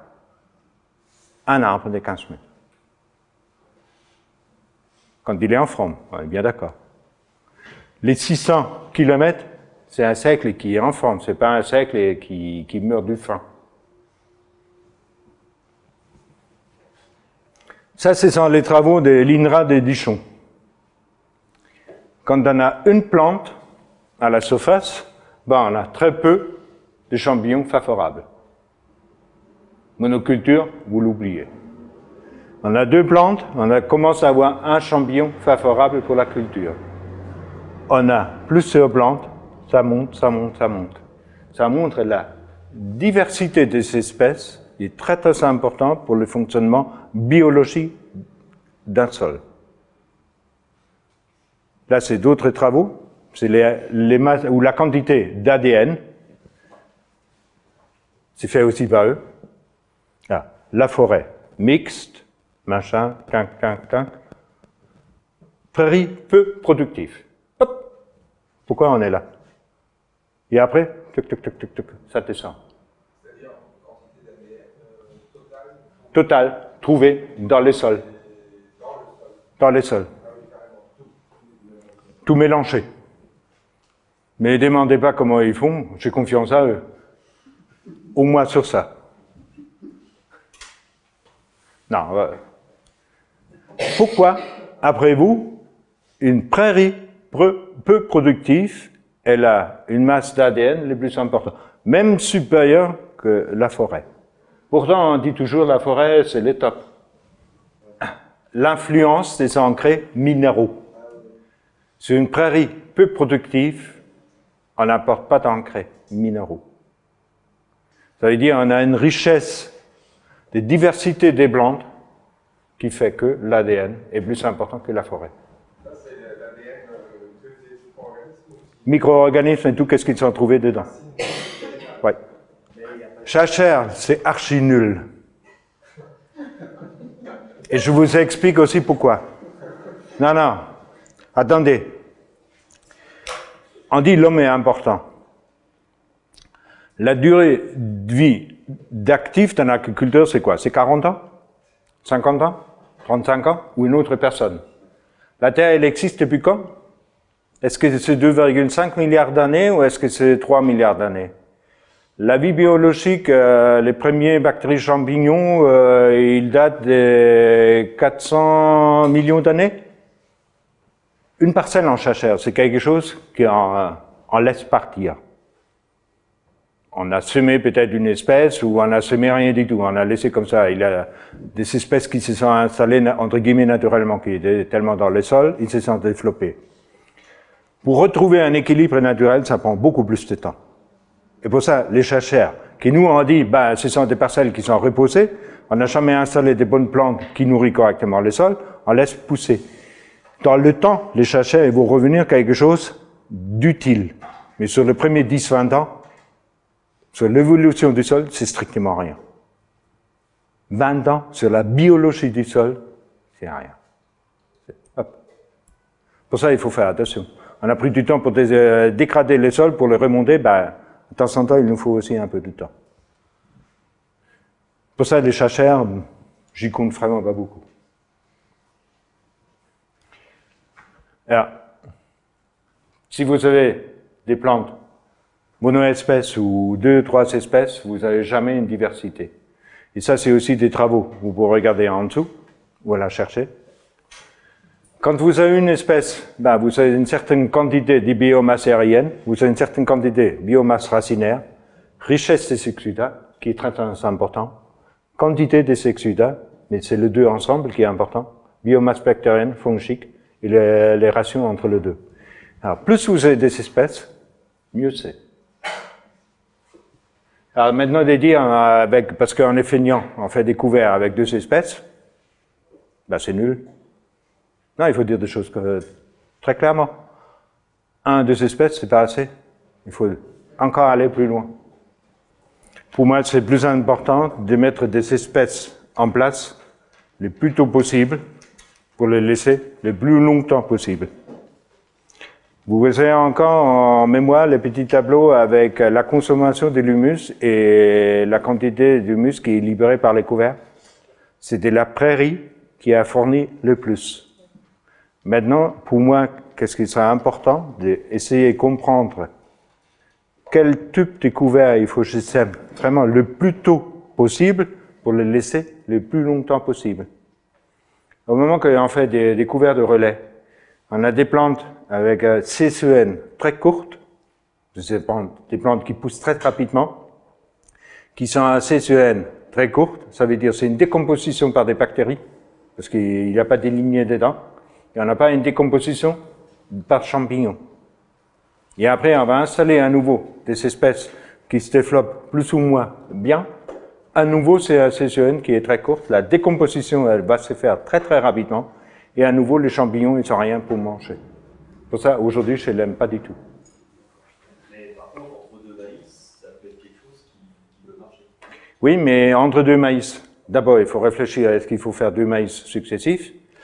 Dans les deux maïs, vous avez quand même la possibilité aujourd'hui de semer avec le semis du maïs avant la fermeture du rang ou arriver à la maturité, à nouveau, vous pouvez avancer la date des semis découvertes.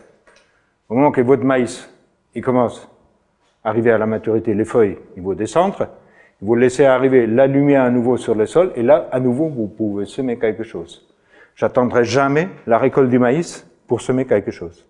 Trop tard. Vous perdez énormément de temps. Pour moi, il faut réfléchir complètement différemment aujourd'hui comme on l'a fait jusqu'à présent.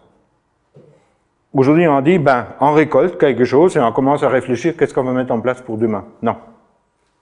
Il faut toujours il faut plutôt réfléchir comment? La partie verte des feuilles vertes, panneau photovoltaïque actif, comment je peux faire pour l'avoir toute l'année? Il faut surtout pas avoir des ruptures. Au moment que j'ai des ruptures, ça veut dire, à un certain moment, la biologie n'est pas nourrie. On demande un sol aujourd'hui d'être un athlète, de fournir beaucoup. Mais un athlète, il s'entraîne en permanence. Il n'a jamais de rupture.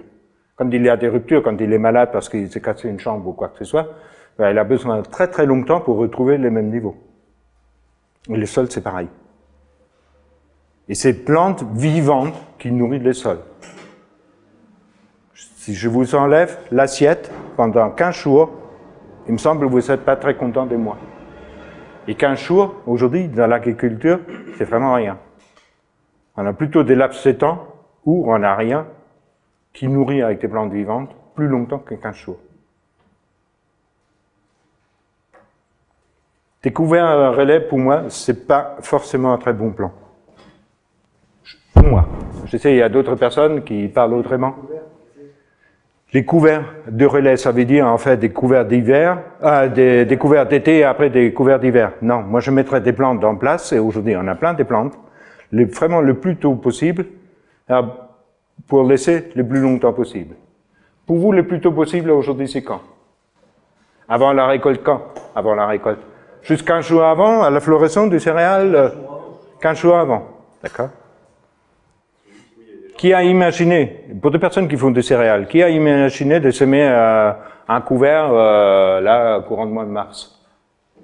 C'est possible? Il n'est pas encore monté. On peut encore. Ouais, tout à fait. Merci. ah, si, si, pour moi aussi c'est possible. Mais pour vous, est-ce que vous avez réellement réfléchi de semer un couvert, sans parler des quoi, mais déjà par le principe, de semer un couvert euh, là au mois de mars, avant la montée sur. Pourquoi Votre blé aujourd'hui, si le blé est de semer à l'automne ou au mois d'octobre, il a un enracinement qui va être, je sais pas, j'ai dit des conneries parce que je ne connais pas les situations chez vous, entre 60 euh, cm à 1 mètre, facilement. Il est déjà enraciné.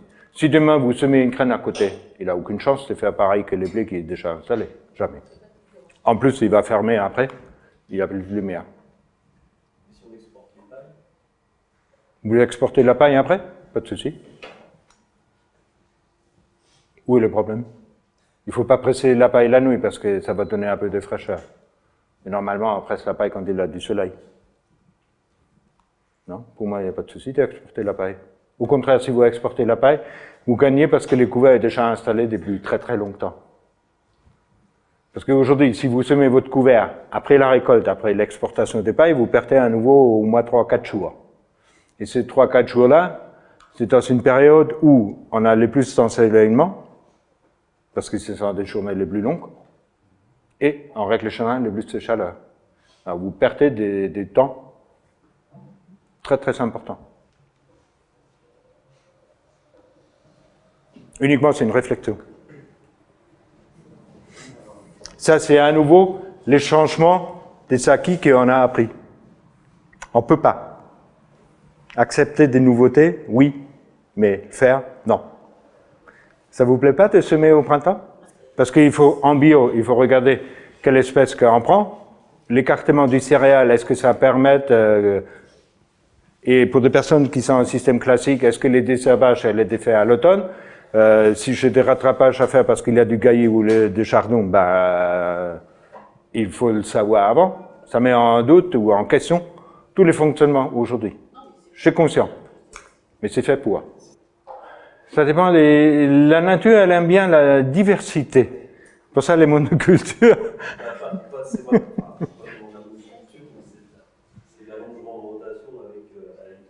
Oui, mais je le peux faire par la culture ou par les couverts, ou des cultures associées. Il y a plein de choses aujourd'hui.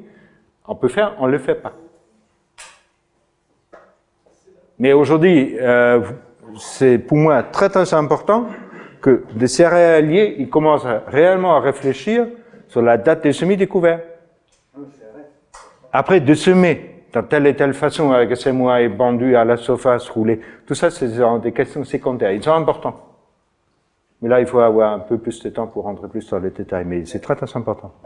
Oui, justement, qu'est-ce qui m'intéresse aujourd'hui? C'est installer la culture et elle reste en bas. Ou pas, elle monte. Comme ça, au moment qu'elle monte pas, elle fait jamais concurrence au point de vue d'eau, au point de vue nutriments, mais elle est installée. Et au moment que la plante cultivée, elle arrive à la maturité, quand les feuilles descendent, la culture en dessous, elle va monter. Mais à partir de la floraison ou après la floraison, quand un blé fait un mètre de hauteur, la plante qui était en dessous, elle va jamais arriver pour gêner la récolte. Exception, ça peut arriver, mais c'est une année sur 20. Alors, ça me casse pas trop la tête aujourd'hui. Par contre, qu'est-ce qu'il est important aussi C'est la gestion d'azote. Si je veux semer des légumineuses aujourd'hui, des trèfles, ben, si je fais un apport d'azote trop important, ben, la légumineuse, elle peut dégager. Pour ça, la notion, comment je gère le système, et pour ça on parle système, est très très important. Microgrammes, euh, ça c'est des mesures qui étaient faites par eux. Alors, grammes par microcosme, comme euh, c'est Xuita qui est démesuré, je sais pas euh, comment ils ont fait pour mesurer ça. Grammes par microcosme, à mon avis, c'est des par espèces. euh, je sais pas pourquoi ils appellent ça microcosme. Je vais regarder pour les prochaines présentations. Pardonnez-moi. pour moi, c'est beaucoup mieux d'avoir des couverts qui sont installés un mélange avec X différentes espèces le plus longtemps possible. Les prairies, ils ne meurent jamais l'hiver. Ça dépend des espèces que vous utilisez. Vous pouvez garder la diversité, mais pas avec les mêmes espèces. Je suis d'accord. Si vous voulez faire des nichères, si vous voulez faire des tournesols, si vous voulez faire la féfrole, des trucs comme ça qui dégagent au moment qu'ils sont dans un certain stade, quand il fait froid, oui. Mais en a plein d'autres espèces. Aujourd'hui, des plantes de couverture, il y a 50, 60, 70, 100, 200. Il faut toujours regarder qu'est-ce que vous utilisez. Aujourd'hui, vous avez un certain choix, mais il existe plein d'autres choix. Il y a bien des plantes pérennes qui passent facilement l'hiver. L'hiver, c'est aucun souci pour eux. Ni des légumineuses, ni des graminées, ni d'autres. Vous avez des plantes, des graminées fourragères, qui passent facilement l'hiver, ils ont aucun souci. Les prairies, ils s'en fait comment? Aujourd'hui, dans l'absolu. Après, on peut discuter plus dans les détails sur les couverts, il n'y a pas de problème. Vous pouvez semer au mois de mars dans une céréale qui est désherbée à l'automne, ça veut dire que vous faites plus de désherbage chimique au printemps, vous pouvez semer du réca, vous pouvez semer du tactile, vous avec des trèfles d'Alexandre, euh, d'Alex, Angarna, trèfles euh, euh, blancs, trèfles violets, et je ne sais pas combien d'autres trèfles d'autres graminées, il n'y a aucun souci. Ces plantes-là, ils vont rester petits au moment que le céréales va fermer. Pour ça, il ne faut pas semer trop tôt non plus, pour pas qu'il commence à s'allonger, jusqu'avant la fermeture. Je sais, c'est la théorie. Après, il faut l'appliquer en pratique, mais je le fais. Alors, si moi j'arrive, il n'y a pas de raison d'autres n'arrivent pas. Pour récolter votre céréale, ça va commencer à monter. Avant que ça fait vraiment l'épi, vous les coupez. Vous ne les coupez pas sur le sol, vous le coupez à cette hauteur-là. Comme ça, les départs des feuilles, les premiers coups, euh, est encore là, il peut toujours capter l'énergie solaire, il va se développer à nouveau. Et vous pouvez amener ça jusqu'au printemps, aucun souci. Vous l'utilisez parce que vous voulez faire du pâturage, parce que vous voulez exporter, aucun souci. Et là, vous arrivez des paliers à partir du mois de mars, cette année, jusqu'au mois d'avril, euh, mois de mai, ça dépend quelle culture vous faites l'année prochaine, il n'y a aucun problème. Avec les mêmes mélanges. Après, vous voulez acheter de la féfrole parce que ça vous plaît, vous voulez acheter du tournesol après la récolte, je n'ai pas de problème. Sauf qu'ils ont du mal à démarrer dans un couvert qui est déjà installé. Aujourd'hui, on a d'images de certains couverts, ok, pas de problème, mais il existe d'autres images, d'autres couverts, on ne pense pas forcément aujourd'hui. Mais c'est toujours un multiple d'espèces, jamais des mono-espèces. Jamais, jamais, jamais. Et pas uniquement deux non plus.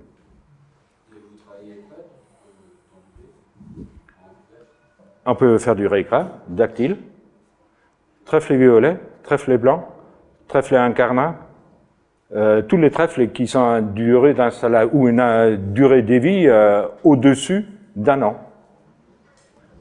En titre d'information, des trèfles, il y a 200, plus que 240 différentes espèces de trèfles. Alors de trouver 3, 4, 5, c'est vraiment pas aussi compliqué. Des graminées fourragères, il y a plein. Non, moi je sème avec un semoir. Parce qu'au moment où vous investissez une certaine somme d'argent, il faut être sûr du résultat. Maintenant, à nouveau, ça dépend sur quel support, sur quel, pardonnez-moi, quel sol vous vous trouvez. Si c'est dans des archilo-calcaires qui sont ouvertes, vous pouvez se mettre à la volée, vous roulez derrière. Si vous êtes sur des limons, euh, il faut faire plus attention parce que si la croûte de patence elle est même légèrement là, bah, vous pouvez avoir beaucoup plus de pertes. Et si vous, si vous savez des, objectifs d'avoir découvert au mois d'octobre qui vous fait 10 kg de matière sèche au mètre carré, ben, il ne faut pas louper le semis. Avant la montesson, au mois de mars. Chez nous, dans l'Oise. En direct avec un semoir, un disque, dans la culture. Et on passe, on donne un certain angle et on passe dedans. Il faut prendre en compte les conditions. Il ne faut pas faire n'importe quoi. Il ne faut pas aller le matin après une pluie de 20 mm. C'est pas parce qu'on fait certaines choses on, arrête les cerveaux. Non, non, mais ça fonctionne. Essayez. Essayez. Ne faites pas sur toute la... couverts, mais essayez. Non, il faut mélanger des familles. Mais dans les familles entre... Dans les familles des légumineuses ou dans les familles des graminées, chaque euh, espèce il y a quand même des propriétés de sucre qui sont différentes, la libération des sucres est différente parce que c'est pas forcément le même cycle. L'enracinement qui est différent. Entre un trèfle violet et un trèfle blanc, ce sont deux mondes complètement différents. Un, il descend beaucoup plus profondément que l'autre. Et pour ça, c'est important de, mélanger des espèces. Euh, il me semble qu'il y a des personnes qui travaillent les sols. Euh, quand vous travaillez les sols, vous travaillez à quelle profondeur? N'importe si c'est chartinier ou agriculteur, Aujourd'hui, quand. Ah. C'est euh, bah. mécanisé ou c'est. Aucune importance. Même si je prends une bêche, j'ai une influence quand même sur la biologie du sol. Et quand je prends une bêche, moi, quand je fais des profils, je prends des bêches qui font 45, 45 cm de profondeur. On a une influence sur 45 cm de profondeur. Non, c'est uniquement. Si je travaille 10 cm, il faut quand même, on travaille sur un volume de terre, entre guillemets, de 1400 tonnes. Et là, je veux vous montrer qu'est-ce qu'il est dans un gramme de terre sec. C'est, pour moi, hallucinant, fascinant, n'importe, vous le prenez comme vous voulez. Tout ça, c'est dans un gramme du sol. Bon. C'est énorme. Moi, ça me dit vraiment rien parce que, non, je vous dis. Pour moi, ça veut rien dire. C'est énorme parce que je ne peux pas imaginer. Par contre, ça, ça me dit beaucoup plus. on a les teneurs de matière organique ici en kilogrammes à l'hectare et en flore dans les sols. Alors, ne prenez surtout pas, c'est pas 2700, ça peut être 2600, 800, n'importe aucune importance. Ça donne une indication d'être vivant dans un sol. On a dit euh, dans les vieux livres d'agronomie, un sol qui fonctionne, c'est entre 4 et 8% Alors, j'ai pris 6 parce qu'on va pas prendre tous les chiffres. Alors, la plupart des personnes, ils sont ici aujourd'hui. Ça veut dire qu'on a 3500 kilos d'êtres vivants dans ce sol. Il faut les nourrir. Mais si mon rêve est d'arriver là, ben, il faut nourrir, il faut commencer à nourrir ça. Mais qui fait ça aujourd'hui? Un autre exemple, qui parle, pour moi, qui est parlant. Alors, on a un nouveau en camembert, un peu différent que l'autre, mais ça ne change pas grand-chose. On a les minéraux dans les sols, on a eau, l'air et la substance organique. La substance organique, elle est faite à 85% d'humus, des racines et la vie. C'est celle-là qui m'intéresse. La partie vivante. Et dans la partie vivante, ben, on a des champignons, 41%, des bactéries, 41%, d'autres, et après les vertétaires. Les vertétaires, ils sont très importants, je ne veux surtout pas les sous-estimer, mais ils représentent environ 13% dans la vie du sol. Ça me dit à nouveau pas grand-chose. Alors, je mets ça en tableau, Excel. Sur le premier 10 cm, avec une densité de 1,4, on a 1400 tonnes. On amène ça, organisme vivant dans les sols, 5%, on a 4,9 tonnes. Maintenant, 7% de matière organique, j'ai 2 tonnes de champignons à l'hectare, si les sols ils fonctionnent. 2 tonnes de bactéries, ça, ça me parle quelque chose. 2 tonnes de champignons à l'hectare, sur 10 cm de profondeur. Ça devrait être blanc partout. Mais ce n'est pas le cas. Nous, on fait des analyses euh, des sols basiques, où on regarde sur le microscope qu'est-ce qu'on peut compter comme bactéries champignons. Alors, c'est rien à voir avec ce que l'INRA ou d'autres euh, ils sont capables de faire, mais on trouve pratiquement rien dans nos sols agricoles aujourd'hui. On trouve ça, on trouve. Ça, c'est pas un. Mais celle-là, on trouve pas. Les champignons. Parce qu'ils ne sont pas nourris. Alors, découvert, relais, on ne nourrit pas les champignons, très très peu. Parce que souvent, les blancs d'utiliser ne sont pas assez avancés dans leur développement pour être lignifiés. Et pour ça, c'est une décomposition des bactéries.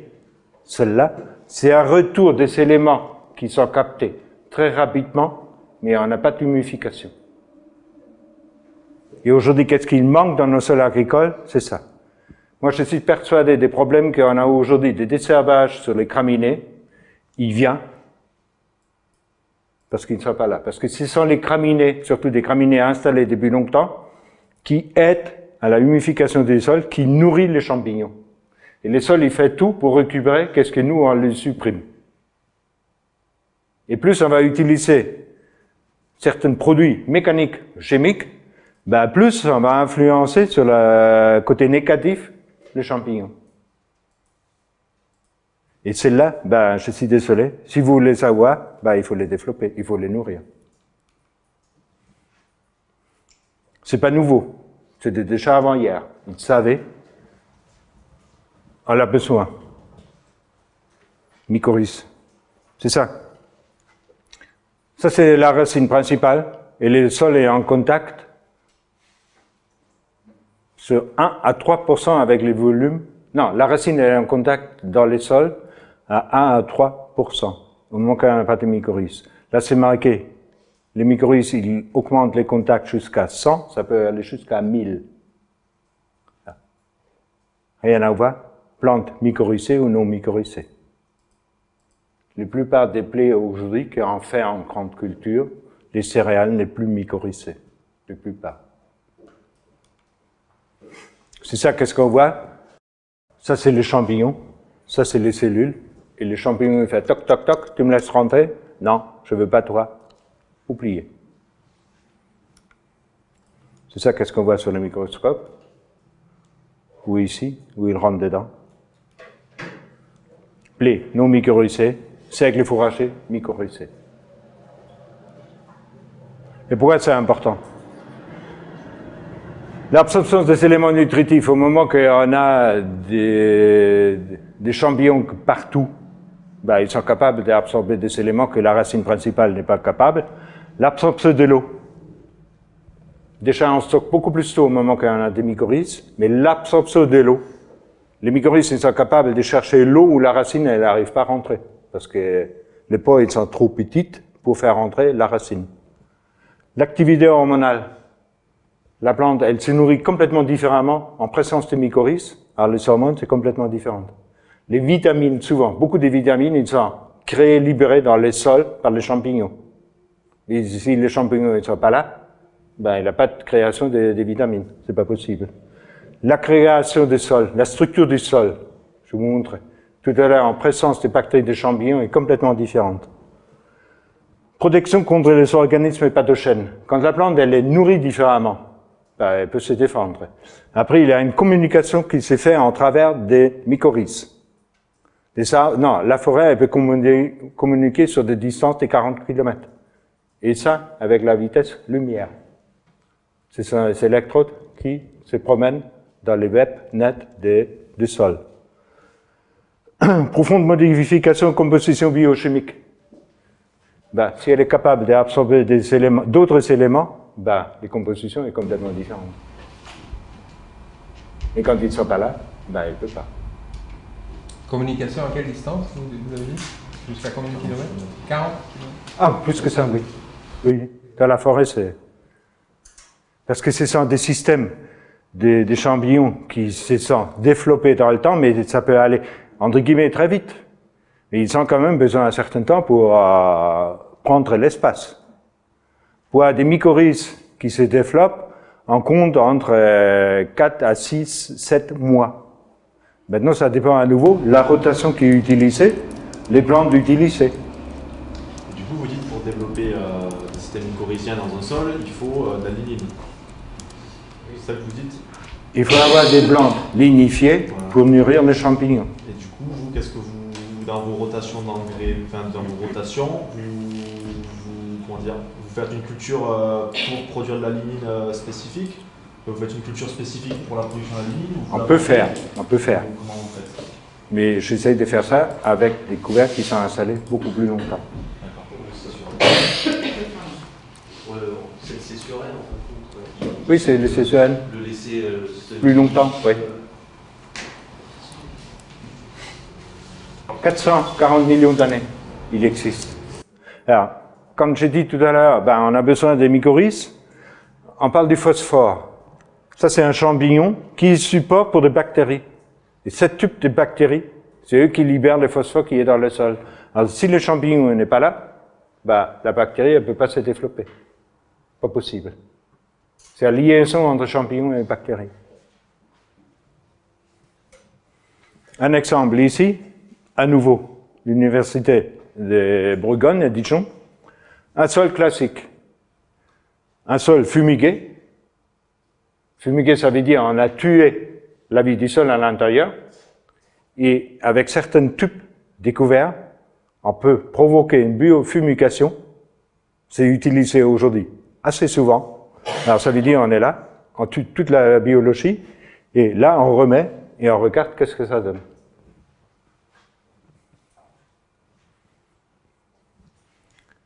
La vie du sol, très très important pour le développement de la plante. Et aujourd'hui, nos sols agricoles, souvent, ils sont ici. Un exemple très, très basique ou assez facile à faire. Maintenant, on va aller dans les parcelles, on va arracher doucement les plantes et on regarde si la terre elle reste accrochée sur les racines. Ça veut dire on a une biologie qui n'est pas si fatiguée. Par contre, si on sort les céréales et il reste rien accroché dessus, ben on n'a pas forcément beaucoup de biologie active, profitable pour notre système agricole. Rien, pas de terre qui reste collée sur la racine. Ça veut dire qu'il n'y a pas des champignons, des bactéries qui se collent là-dessus avec les glomalines. Alors des plantes mycorhizées, en théorie tous les graminées. Qu'est-ce qui n'est pas mycorhizé? Les crucifères, les radis moutardes, choux, colza, pétrave, amarante, lupin, même si c'est une légumineuse, sarrasin, épinard. Et il faut faire attention, il a des plantes qui sont non my- mycorhizées, mais il a aussi des plantes qui empêchent d'autres plantes d'avoir des mycorhizes. On prend certains types de moutarde, ils sont sélectionnés pour faire la biofumigation, et si vous semez ça, bah, probablement, ou empêcher les trèfles à être mycorhizés ou des siècles fourrachés. Tout ça, ce sont des choses sur le choix des couverts il faut prendre en compte quelque part. Qui peuvent empêcher l'autre d'être mycorhizé Oui. s'ils sont présents. Ouais. Là, on est dans des cas de- d'endo ou d'ectomycorhize dans la plupart des cas, c'est les deux mélangés? Parce qu'il y a les deux situations. Les arbres champêtres, les arbres euh, champêtres ont plutôt des endomycorhizes, je crois. Oui, mais les arbres, c'est pas les mêmes mycorhizes que nous on a en grande culture. Et les arbres fruitiers non plus, c'est pas les mêmes. Ah, non, pas les mêmes non plus. Pour ça, aujourd'hui, non, pas bref, on va laisser Oui, ça. oui, juste par rapport à l'agroforesterie. Oui, justement. L'histoire des mycorhizes. C'est pas les mêmes. Ouais. C'est pas les mêmes mycorhizes qui sont utilisés. Qui, non, que les céréales, ils travaillent, ou les graminées, ils travaillent, et, et les arbres. Deux familles complètement différentes. C'est bien les graminées pour la mycorhize, c'est ça? Oui. Donc, euh, c'est vrai que si on dés- le désherbage, euh, ça ça pas classique ça. Aide pas forcément. Mais l'azote, les formes d'azote, la quantité d'azote, aide pas forcément. Mais au moment qu'on ne fait pas de desherbage, on ne va pas récolter. Dans les systèmes dans lesquels on est aujourd'hui.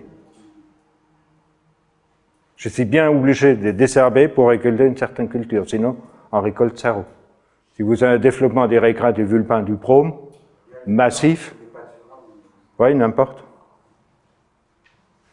Ça, vous connaissez tous. Vous avez certainement déjà tout vu, cette image-là. Vous savez expliquer qu'est-ce qui se passe ici?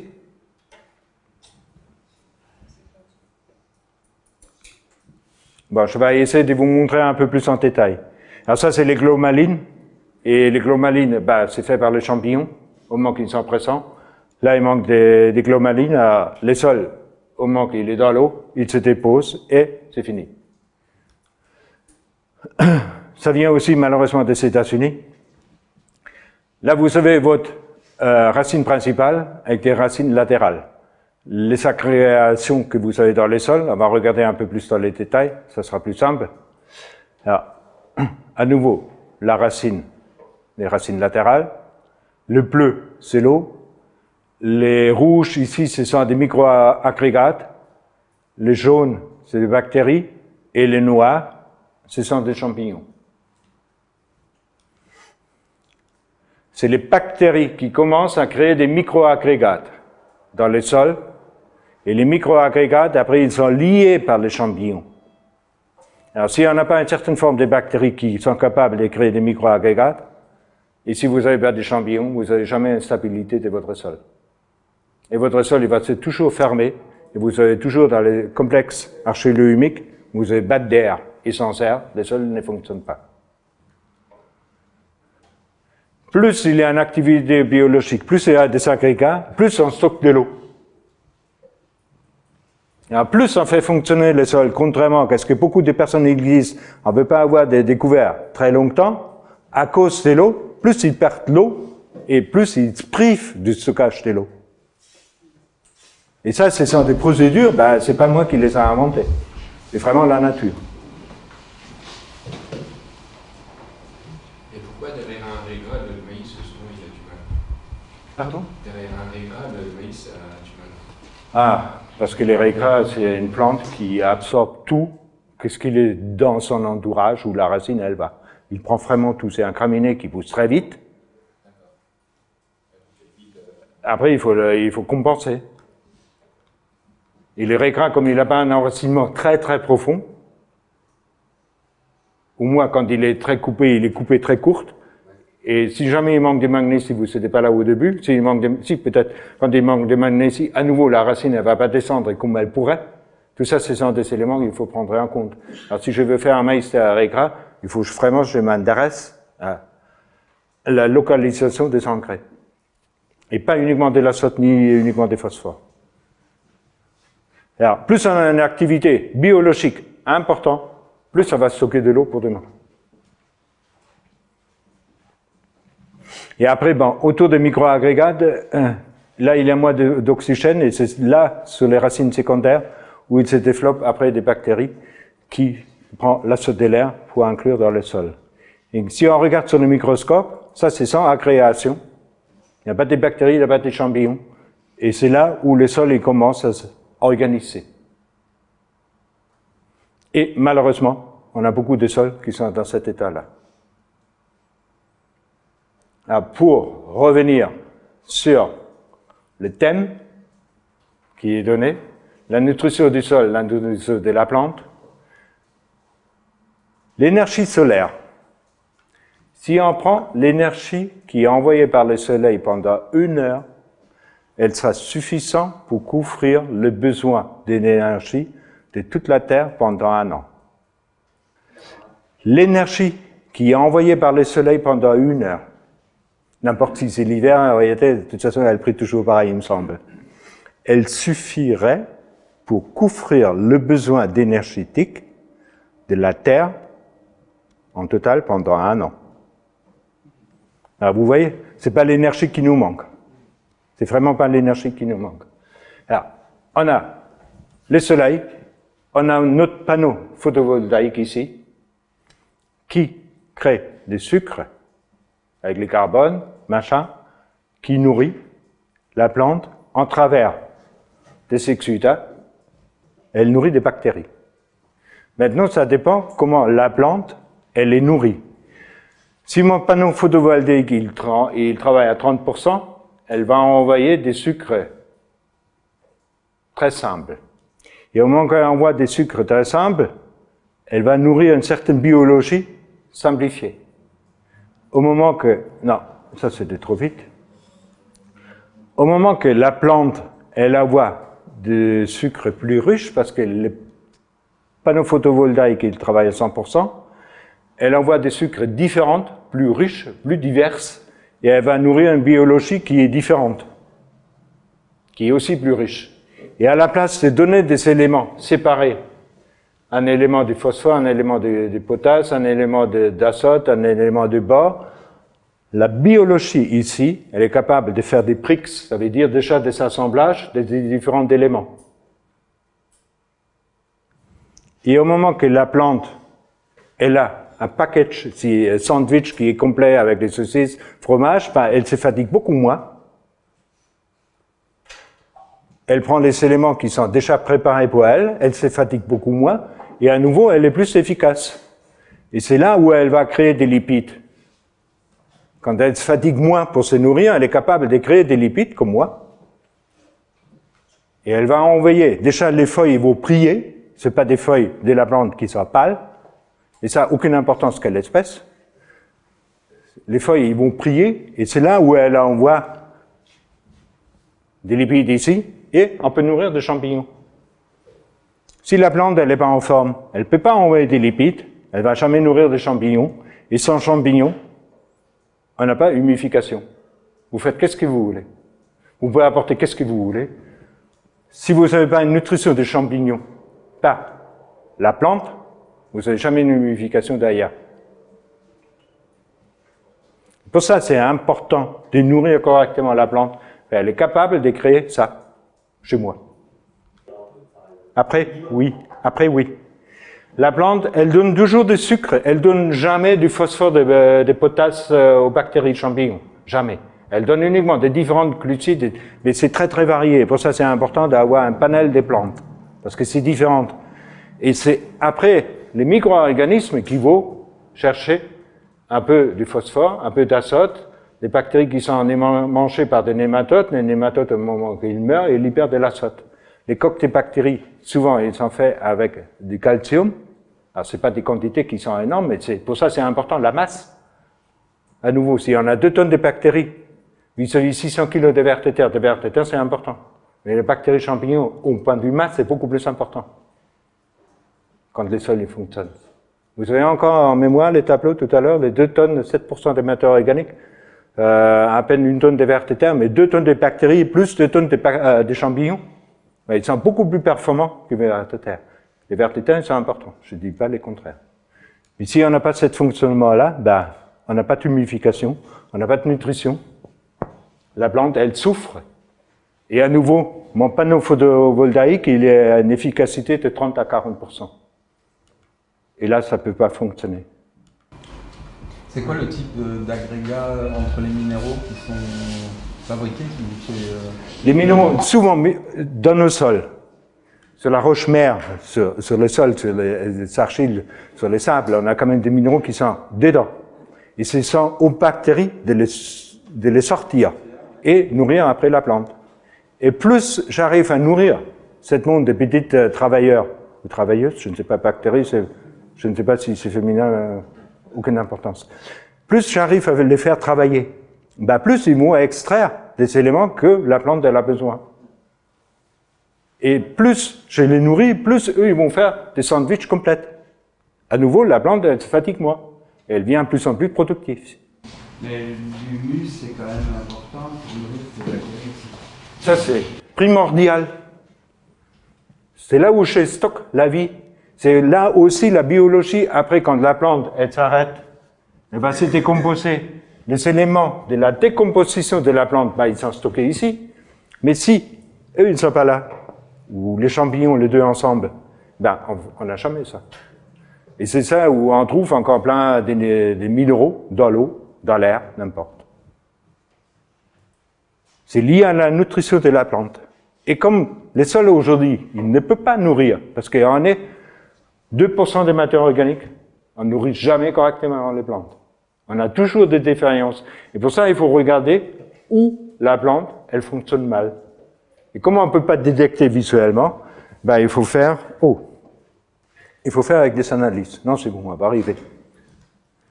La même chose, ça montre la même chose. Photosynthèse optimisée, digestion de par les bactéries optimisée. Minéralisation, les bactéries ils meurent, ils perdent des éléments qui sont libérés, ça donne une masse plus importante.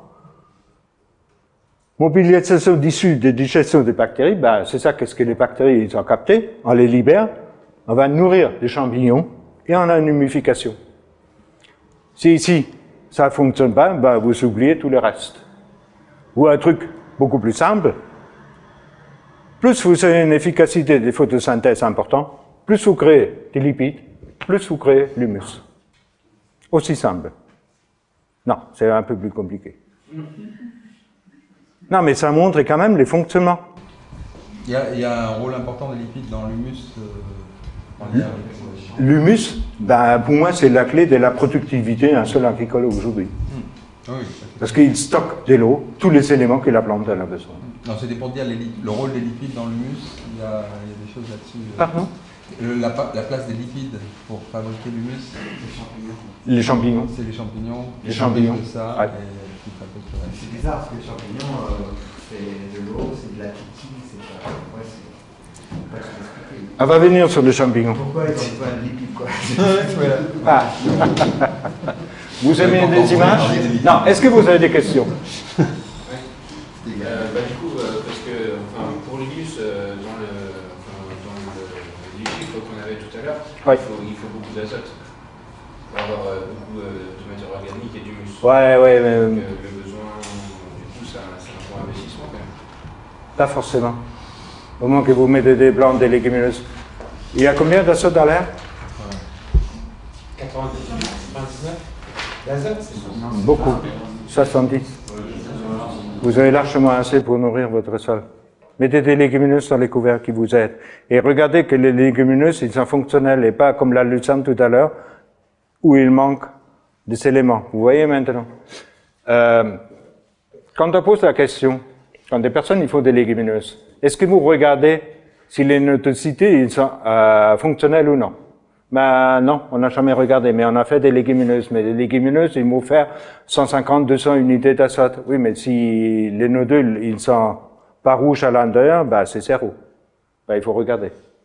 Pour ça, il faut s'intéresser complètement sur le sol. Ouais, c'est comme ça, je suis désolé. S'il y a une carence, il faut fertiliser euh, Ben, a une carence, si vous voulez que votre plante, elle vous fait un truc, quelque chose, n'importe, vous lui donnez un travail à faire.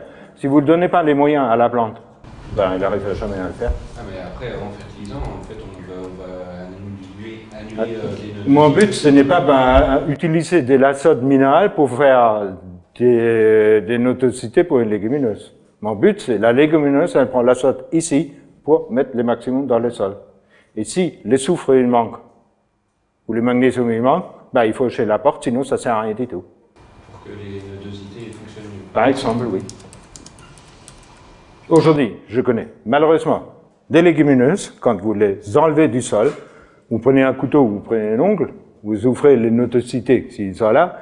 S'il y a un euh, si c'est un liquide comme de l'eau qui sort, ben vous l'oubliez. Il n'y a pas d'azote qui est à l'intérieur des nodules. Et malheureusement, ça existe parce que les plantes, comme je vous avais montré avec l'analyse et la lucerne, ben, elle a des notocités, mais c'est de l'eau qui sort, c'est pas rouge. Ben, il faut que ça soit rouge comme du rosé ou comme du sang, n'importe. Est-ce que vous avez d'autres questions? Est-ce qu'il y a des personnes ici qui ont des problèmes de couleur? Altonia Non? Un peu On est bien d'accord, ça c'est un rouge foncé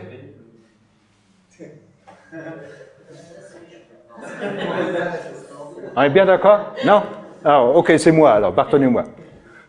Non. Non, parce que c'est important.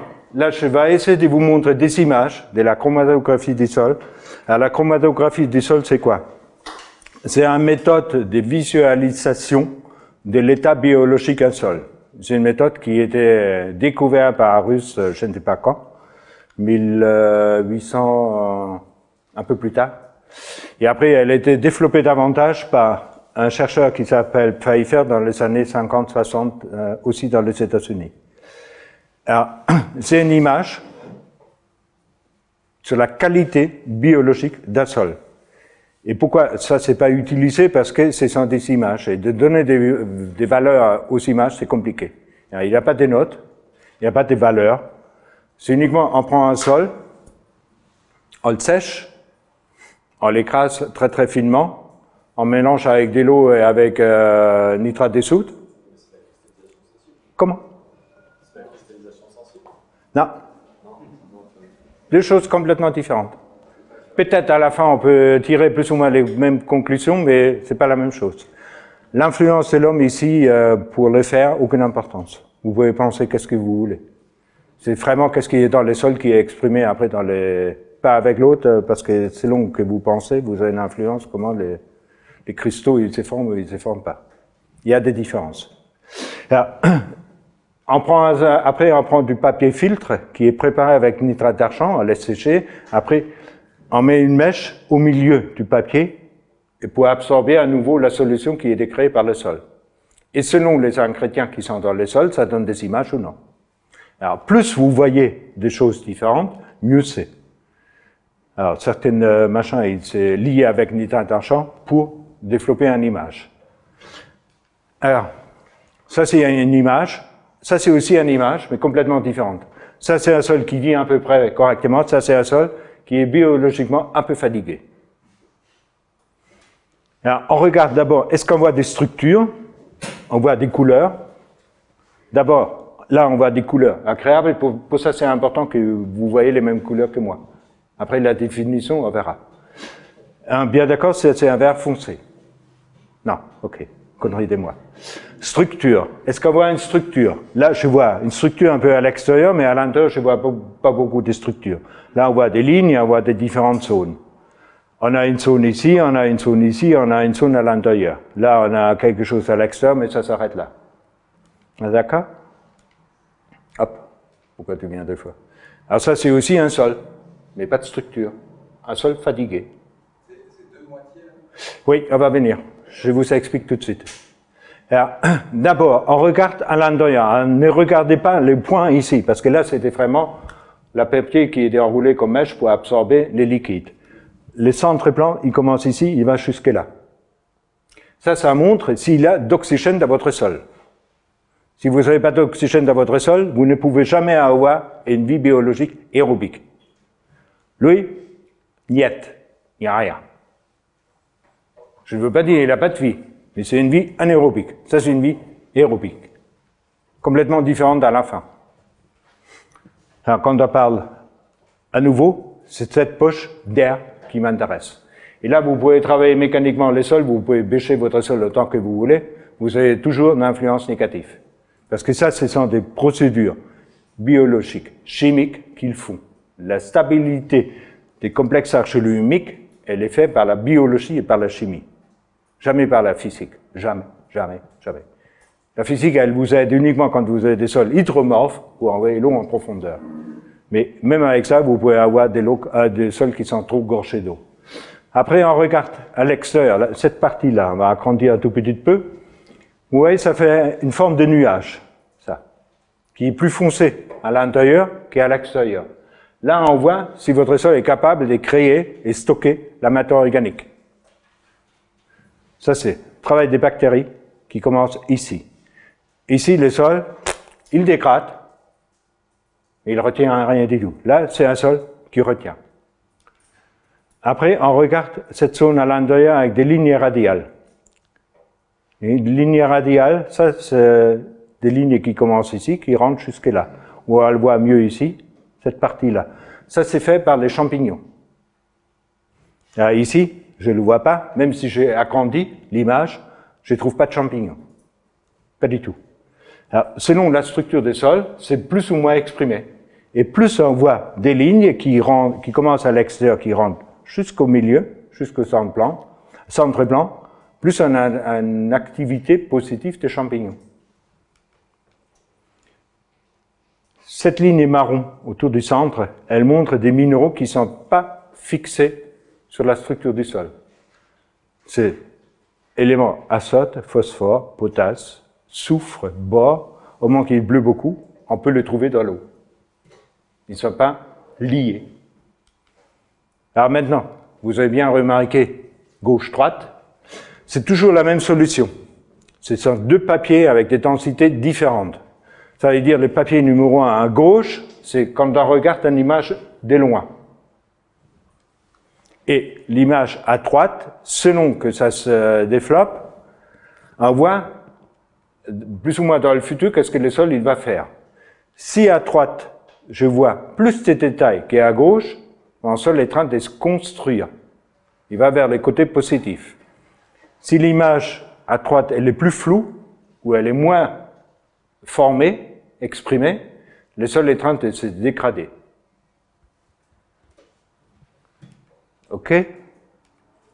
Alors, ça, c'est des formes souhaitées. Tout ça, c'est des formes non souhaitées. Les couleurs souhaitées, non souhaitées. Un caillou calcaire, Très peu de vie, tout le monde sait. Le caillou, c'est nul. Sur la biologie. Après, il peut aider parce qu'il porte ceci et cela. Mais sur la, biologie du sol, un caillou calcaire, c'est vraiment nul. Ça, c'est un sol agricole qui fonctionne à peu près. On a un centre qui est blanc. Quand je regarde gauche-droite, ben, c'est plutôt mieux prononcé ici à droite qu'à gauche. Ça veut dire que c'est un sol qui va évoluer vers les côtés positifs.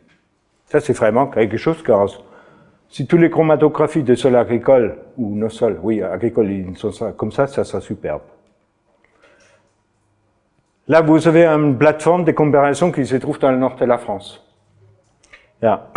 C'est une plateforme qui est installée depuis euh, au moins une dizaine d'années, où on regarde l'influence sur le fonctionnement du sol, avec les rendements, avec euh, tous les différentes mesures qui sont faites à Sigenda, ils sont inclus, l'université d'Amiens, ils sont inclus, Bonduel, ils sont inclus, pour voir qu'est-ce que ça donne. Alors, la comparaison, c'est semi-direct avec des beaux couverts, semi-direct avec des couverts moyennes, semi-direct sans couvert. Et la même chose en labour. Labour avec des beaux couverts, labour avec des couverts moyennes et labour sans couvert. Regardez qu'est-ce que ça donne au point de vue chromatographie. Quel sol vous préférez Gauche ou droite?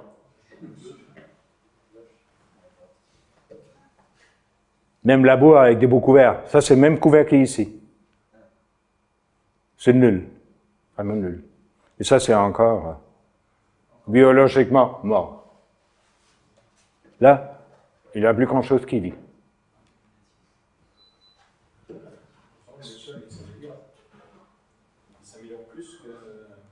Là, il se dégrade encore plus. Là, on voit encore tout petite structure, mais ici, euh, sur le papier numéro 4, il n'est plus là. Qu'est-ce qu'on voit ici? Petite activité des bactéries, là, c'est complètement une soupe complète. C'est comme les cailloux calcaires ici. Ah non, regardez, c'est pas de ce point-là. Le trou ici, que vous voyez les blancs, ça c'est la mèche. Ah non, c'est rien à voir, c'est uniquement les tailles des, papiers qui étaient faits un peu différemment. Non, là, si vous regardez ici, c'est vraiment, c'est pas beau. C'est moi qui n'ai pas fait attention je laissé couler un peu. Je n'ai pas enlevé les papiers assez tôt. Ah, et aspiré. Et pour ça, les cercles à l'extérieur légèrement plus grands. Mais sur l'interprétation, ça c'est plus nul que, que ça. Ça c'est déjà pas bon, mais ça c'est encore plus triste. Deux sols côte-côte. Le même précédent. Travail du sol, nos travail du sol.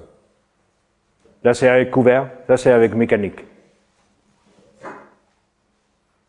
Ça, c'est un sol agricole, 1500 décimi direct. Nul.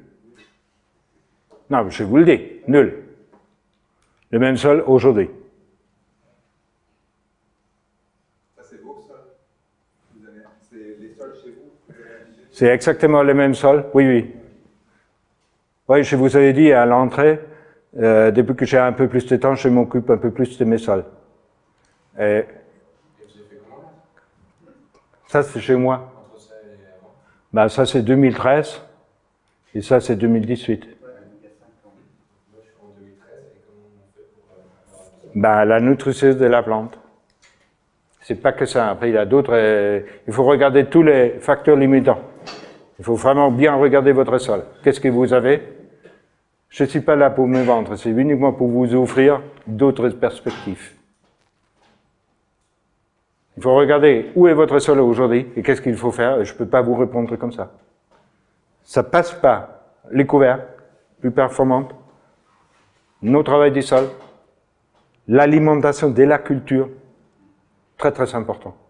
Tous les points que je vous ai démontrer tout à l'heure. Alors, on parle la couverture. Ben, il faut faire un cycle court, mais après, bon, si ça gèle, c'est bon. Regardez, à nouveau une plateforme. Bon, c'est déjà fait en 2014, mais ça ne change rien du tout sur le principe. Ici, un produit qui est appliqué chimiquement pour arrêter le couvert, plus un roulage.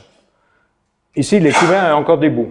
Ça veut dire il est desséché ou on peut prendre aussi un couvert qui gèle, qui reste encore debout, mais il nourrit plus le sol. Et là, on est sur un couvert qui est encore vivant. Alors tous les trois chromatos, c'est pas extra, mais ça c'est pas bon, et ça c'est encore moins bon. C'est quand même celle-là qui exprime encore un peu plus de vie. Mais vous regardez, les centres, il est très très petit. Alors vous avez une activité des, des champignons ici qui est vachement limitée. Vous parliez tout à l'heure du lien avec les éléments minéraux. Oui. La disponibilité, vous arrivez à lire ça là-dedans Oui.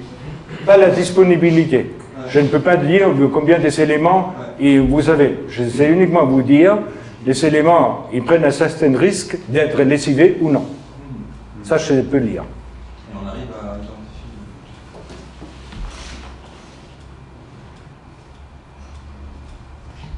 Là. Si vous avez un cercle, comme ici, qui est autour du centre, ça veut dire vous avez plein de minéraux, ça peut être de l'azote et phosphore, euh, phosphore moins, mais potasse, soufre, bois, des différents éléments minéraux qui sont dans la solution du sol qui ne sont pas accrochés.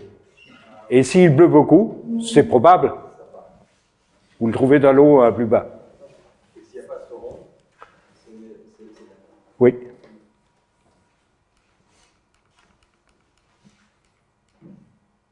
Alors,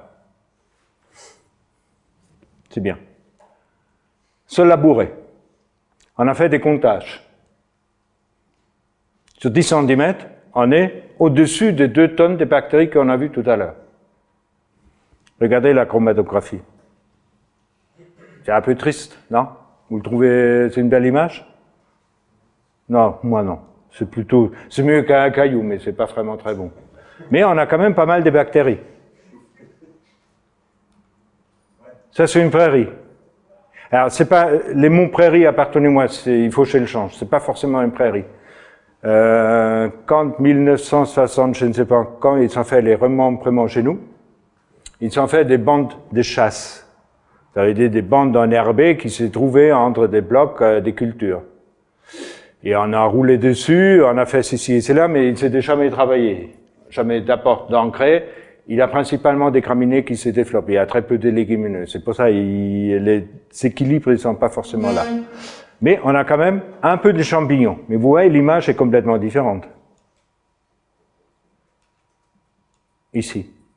Et si je prends un sol à côté, ben, au point de vue bactérie, on est encore plus fort. Et au point de vue champignon aussi. Mais c'est pas du tout la même image que là. Ça, c'est quand même moins bien que l'autre. Et on est loin encore d'avoir des équilibres. Un sur un. Là, on a 80 kilos de champignons. On a 2 tonnes 7 des bactéries, mais on a uniquement 80 kilos de champignons. Alors cette sol-là, il ne peut pas fonctionner. Mais vis-à-vis les débuts, il a changé quand même énormément. Et pour vous montrer encore d'autres choses, vous connaissez la société Precifield, ça vous dit quelque chose? C'est une société qui fait euh, cartographie de vos sols pour connaître les teneurs de matière organique, euh, la conductivité. Il mesure trois ou quatre euh, choses différentes au moment qu'il passe à vos parcelles. Et ça vous donne une cartographie comme celle-ci. Alors plus c'est foncé, plus vous avez une teneur de matière organique élevée. Plus c'est clair, moins il a matière organique dans votre sol. Alors maintenant, je vais vous montrer des images de la chromatographie et vous me dites dans quelle image, il y a plus d'humus ou matière organique. À gauche ou à droite?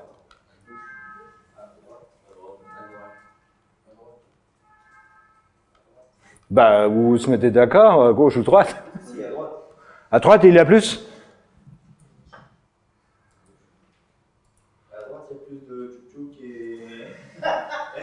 On a le droit de se tromper.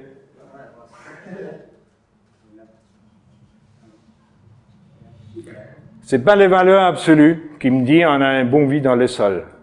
C'est pas parce que j'apporte beaucoup des résidus organiques ou le teneur de matière organique il monte, la vie du sol elle monte avec.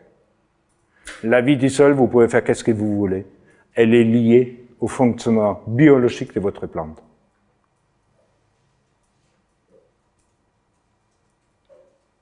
Et dans nos sols agricoles, on peut trouver tout ça. Qui fonctionne, qui fonctionne beaucoup moins bien. Les plupart des sols agricoles que je connais aujourd'hui, où nous on a fait ce type d'image, ils sont entre là et là. Il y a certaines qui commencent à être vers cette sens-là, mais c'est combien? 1% 2 Certainement pas 5. C'est quand même un peu grave. Et pourquoi? Parce que c'est là, ils ne sont pas là. Tous ces petits mondes-là, c'est vivant, et on a besoin pour ils nourrissent. C'est là on a besoin. Ça, c'est un agrandissement de 400, je crois, ou 500. Là, vous venez avec un outil mécanique, je suis désolé, vous les cassez, ils sont morts. Vous venez avec des produits chimiques, ils sont morts partiellement. Pour ça, il faut essayer de comprendre pourquoi, comment on peut faire pour nourrir correctement le sol. Pour demain, on a besoin moins de mécanique et moins de chimie pour faire vivre celle-là. Ça. Les champignons qui sont en train de créer des sacricats, ensemble avec des bactéries. Vous pouvez faire de l'élevage de, de ça et les vendre Ah, C'est un peu compliqué, ça existe aujourd'hui. Vous avez des sociétés qui vous vendent des, champignons. Vous pouvez acheter des mycorhizes que vous mettez sur les céréales, vous mettez sur le maïs, vous mettez dans la pomme de terre. Mais si vous créez pas l'entourage où il peut se développer demain, ben, il va toujours mourir. Ça veut dire, vous dépensez toujours l'argent à quelqu'un qui vous fabrique quelque chose que vous êtes capable de faire chez vous-même. Mais du coup, enfin, pour démarrer euh, la machine, ça peut être intéressant. de- Je n'ai pas dit le contraire. Mais il au moment que vous ne créez pas l'entourage, si je viens, vous cassez votre maison en permanence, vous pouvez l'installer à l'intérieur, qu'est-ce que vous voulez, ça sera toujours foutu. Si je lève la toiture, même si vous avez des super meubles à l'intérieur, s'il pleut dedans, ils vont pourrir quand même. C'est ça qu'est-ce qu'on fait à l'heure actuelle avec certaines chimies, je dis bien certaines, il, il nous faut, parce qu'il faut lancer quand même la machine et surtout avec les travaux mécaniques. Il faut réfléchir vraiment différemment. On a beaucoup de peur de celle-là, des nématodes pathogènes. Il y a, je ne sais pas, une dizaine peut-être qui sont pathogènes, mais il y a plus que 200 qui sont bénéfiques. Et quand on fait la biofumigation, ben, on veut supprimer celle-là, mais on supprime les restants aussi. Et pas uniquement des nématodes, aussi bactéries et champignons. Et si les sols ne fonctionnent pas, ben on a celle-là qui se développe. Et ça, c'est pas forcément un bon signe, parce que c'est un signe d'anaérobie des sols. Là aussi, mon sol, il décompose, mais il fabrique rien de bon d'ailleurs. C'est lessivé. C'est là on a besoin. C'est là on a besoin. Alors,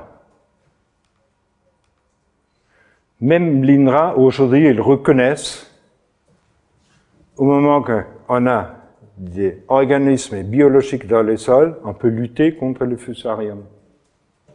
C'est quand même pas mal. Alors, pour conclure, parce que bientôt on arrive à la fin, des plantes vivantes toute l'année, vraiment toute l'année. L'année, il me semble, il a combien de jours? 250 365. Et nous, on se nourrit, il me semble, 365, 5 jours. Même à temps en temps, on mange pour deux journées. Moi, je le fais. Vous, je ne sais pas, mais moi, oui. Mais je, ça m'arrive aussi de ne pas manger un repas. Mais 15 jours, non. Vraiment, toute l'année. Il faut comprendre comment on peut maximiser, les, capter, de capter l'énergie solaire pour mettre cette énergie dans les sols. Et ça passe uniquement par des plantes qui sont en forme. Jamais par des plantes qui sont affaiblies. Il n'a à nouveau aucune importance.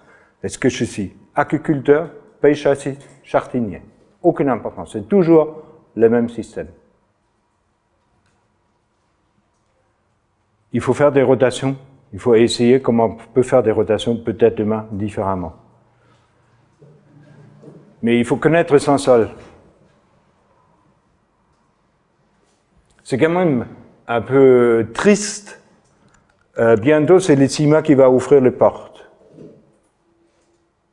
Il y a beaucoup des agriculteurs aujourd'hui qui connaissent mieux le fonctionnement d'un tracteur, le fonctionnement hydraulique, électro-hydraulique, n'importe, comme le fonctionnement des sols. On est prêt d'acheter des trucs, des options qui coûtent 1000 euros, 2000 euros en plus, mais on n'est pas prêt d'acheter un pH mètre pour connaître les pH des sols. Je trouve que c'est un peu triste. Et tout le matériel qui est exposé là-bas, non pas tout, mais beaucoup, c'est tout le matériel est uniquement là pour faire mal au sol, pas pour aider au bon fonctionnement du sol. Il faut vraiment reconnaître, il faut savoir qu'est-ce qu'on a dans le sol pour essayer de corriger s'il faut.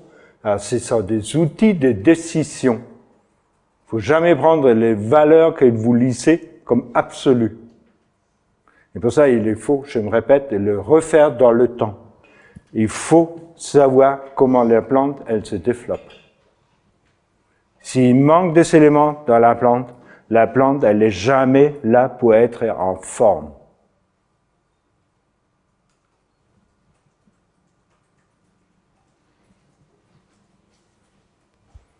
Après, demain, elle va certainement plus faire que du blé, mais ça met en question toute une procédure de récolte, machin. Mais après demain, demain, ça va changer.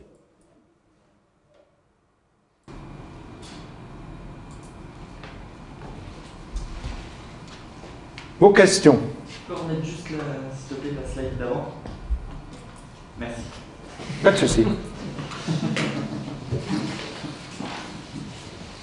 Voilà encore le temps pour vos questions. Est-ce que je vous avais fatigué? Non, c'est passionnant, c'est passionnant, ça, ça travailler, c'est supplémentaire. Tout à fait. De toute façon, n'attendez pas à une réponse de votre sol comme ça. Non. Déjà, un travail, c'est un volume de sol important. Et on ne peut pas changer un sol comme ça. Du coup, peu importe si le sol est argileux, sablonneux, Enfin, euh, la question c'est. Euh, il y a de l'espoir dans tous les sols en fait. Si on, si on en prend. Tout à fait. Regardez, pour savoir si je dis des conneries ou non, si vous avez vos parcelles chez vous, vous avez certainement des bandes enherbées autour. Regardez tout simplement les comportements de votre sol dans les bandes enherbées qui sont où l'arbre ou la verdure elle est installée depuis un certain moment. La structure, les comportements, quand vous touchez les sols, c'est certainement complètement différent. Et ça, c'est fait parce que vous avez des plantes vertes qui nourrissent. La nutrition, elle est importante. Et ça, vous pouvez faire qu'est-ce que vous voulez. Si vous ne nourrissez pas avec des exudats, des plantes vivantes votre sol, votre sol, vous faites qu'est-ce que vous voulez. C'est des images, des chromatographies qui, qui va vers une soupe. C'est valable partout, euh, au, nord au fin fond du nord de l'Europe comme au sud. C'est valable partout où on fait une, une agriculture. Partout. Partout, il y a des hommes, ils mangent. Après, on est d'accord, entre les Finlandes et le sud d'Italie ou le Portugal, on ne va pas utiliser les mêmes plantes, mais ça sera exactement les mêmes principes. Ça ne change rien. L'homme, il se nourrit différemment, il a des habitudes qui sont différentes, mais l'homme, il se nourrit en permanence.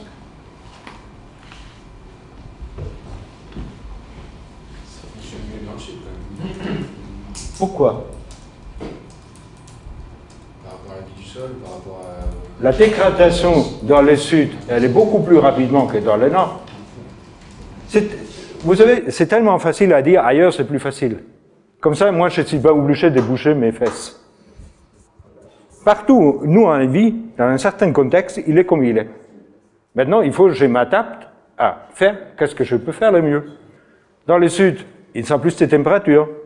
Ils ont eu plus de périodes de sec, peut-être, qu'on n'a pas forcément dans le nord.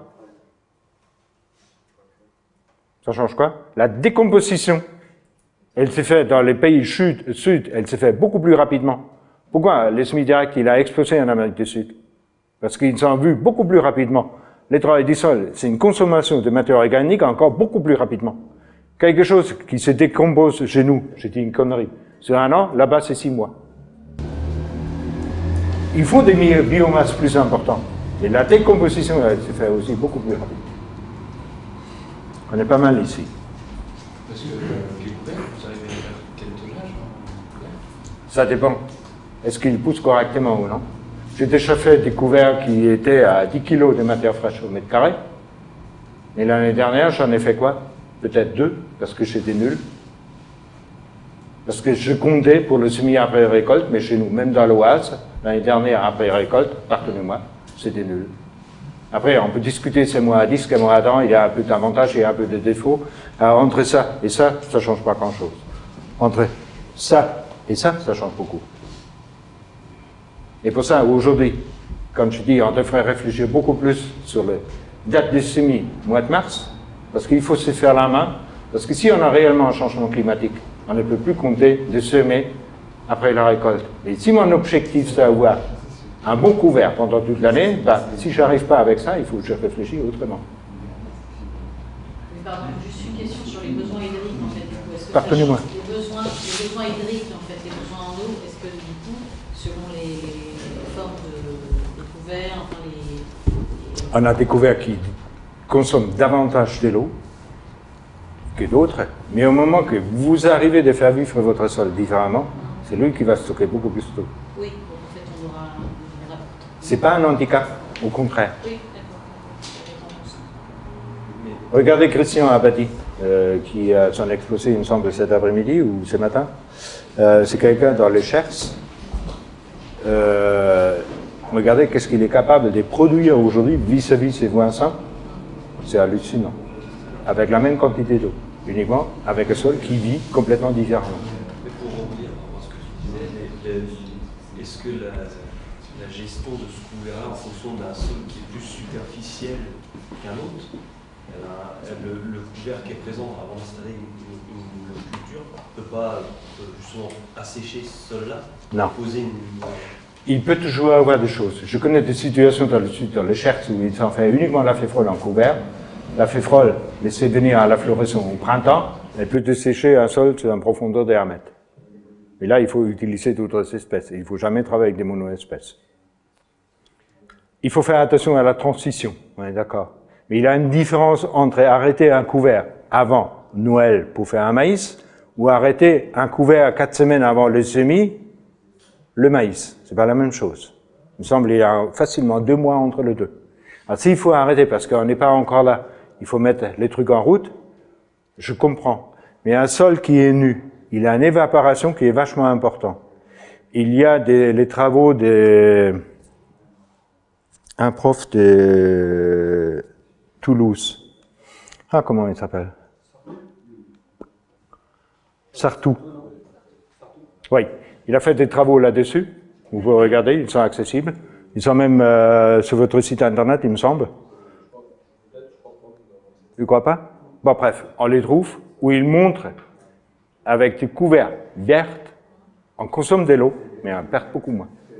Parce que l'humidité qui est captée pendant la nuit, ce sont des choses qu'il ne faut surtout pas oublier. Il y a beaucoup de choses où on a des idées, mais attention, les idées sont complètement fausses. D'autres questions? En maraîchage, on travaille beaucoup avec la, paille pour éviter la perte d'humidité, la battance et euh, la rétention en eau. Est-ce que du coup il faut mieux mettre un couvert euh, vivant plutôt que de la, paille? Non, mais le des maraîchage, on est sur des couverts beaucoup plus courts, donc le temps de mettre un engrais. Pour ça, il faut. Là, je connais beaucoup moi. Il y a d'autres personnes qui sont beaucoup mieux aptes de dire comment il faut faire. Là, je préfère de rien dire. Non. On dit tellement rapidement des conneries. non, c'est pas mon sujet. Il y a, il me semble, il y a des personnes qui sont très performantes, qui sont précédentes ici, sur cette colloque-là, qui savent beaucoup mieux parler des maraîchages que moi. J'ai des idées, mais des idées, attention, il faut les laisser à côté. Ça marche.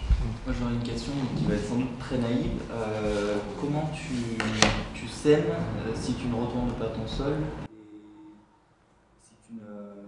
ben, Il y a des outils, d'accord. Ils font une ouverture, un sillon dans les sols, on place la graine et on referme. Aujourd'hui, ça n'existe pas encore des injections par, par l'eau ou par l'air. Mais il y a une différence entre un travail du sol sur toute la surface et uniquement d'ouverture d'un sillon et refermeture d'un sillon. Maintenant, le sillon, il peut être fait par des dents qui nettoient la ligne, qui arrachent beaucoup plus de sol, ou par des disques qui enfilent la tension des résidus paillus dans les sillons, ou d'autres. Ça, c'est, après, c'est des questions techniques. Ça, c'est pas très compliqué. Ça existe. Et pourquoi vous n'aimez pas le striptil Parce qu'on essaie de faire toujours quelque chose mécaniquement qu'on devrait faire avec la plante. Le striptil, il fait quoi? Il nettoie la ligne des semis, il provoque une structuration du sol, il provoque une minéralisation, et quoi d'autre encore? Réchauffement D'accord Quatre points. Les résidus, je les cache avec des étoiles. Un disque ouvreur, double étoile derrière, une dent qui travaille maximum sur la profondeur des semis, pas plus profond. Pour être sûr, pour des cultures de printemps comme les maïs, euh, la pétrave, il n'y a vraiment pas de résidus dans la ligne des semis. La structuration du sol. Peut-être la première année, je n'arrive pas à les faire avec les vivantes. OK. Là, je fais un décompactage euh, écarté avant le semi-découvert. Et après, je structure avec les couverts. Les striptiles, après, euh, bon, ça c'est la structuration, le réchauffement. Je peux ajouter des couverts qui noircissent. Entre un couvert noir et un couvert blanc, vous pouvez trouver facilement une différence de température de 2,5-3 degrés. La minéralisation, je complète avec mes engrais que j'importe à la ligne des semis. Les striptiles, c'est une assurance qu'on achète tous les ans, mais on dérange les sols tous les ans. Parce qu'après, les striptiles, c'est comment? C'est avec des buts pour avoir une surface encore plus grande, pour avoir un réchauffement encore plus grand. Après, sur le but, on va venir ensiler, récolter les maïs, ça veut dire on va écrasser, parce que la butte, elle existe encore au moment de la récolte, on va tasser les sols là où le striptil, il a travaillé, après, on va semer une céréale derrière en disant que oui, mais là, je ne peux pas faire du semis direct parce que le sol est tassé. Il est tassé pourquoi? Parce qu'il y a des travaillés avant. Il faut se donner des moyens d'y arriver biologiquement. Qu'est-ce qu'on fait aujourd'hui avec les mécaniques? La mécanique, accident, pas de soucis. Mais si l'accident, il arrive tous les ans, ça veut dire que vous êtes un très mauvais conducteur. Si à chaque fois vous prenez une voiture, vous faites un accident, je suis désolé. Vous avez loupé quelque chose à l'école. Et pour ça, je n'aime pas. Parce qu'on ne se donne pas forcément des moyens. Il y a des situations, je connais. Vous faites du métal, vous faites l'ensilage de métal, vous ne pouvez pas récolter dans les bonnes conditions parce que c'est arrivé au stade, et il s'annonce à nouveau du mauvais temps la semaine après, je récolte, d'accord. Je tasse. Ok, j'ai une raison réellement de faire du striptil.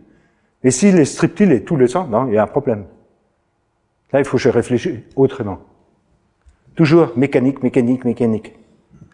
Mais les mécaniques, ça assure, parce que tout le monde est content avec vous. Vous ne faites pas uniquement des semi-directs, vous achetez encore des contracteurs, vous achetez encore des outils, et tout ça, ça fait tourner un business qui est assez important.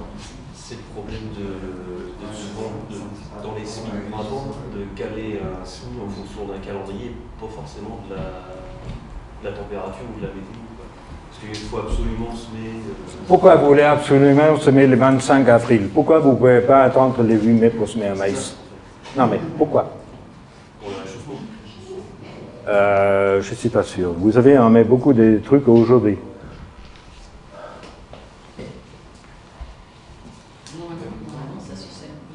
Il y a un moment que les réchauffements, ça fait beaucoup de choses. Mais vous savez, qu'est-ce qui est beaucoup plus important? Et là, on demande quelque chose à faire aux sélectionnaires. Les maïs, il n'existait pas il y a 100 ans dans nos régions ici. Ils sont arrivés, à tapé, pour on est capable de faire du maïs chez moi, chez vous. Il y a 100 ans, le maïs n'existait pas.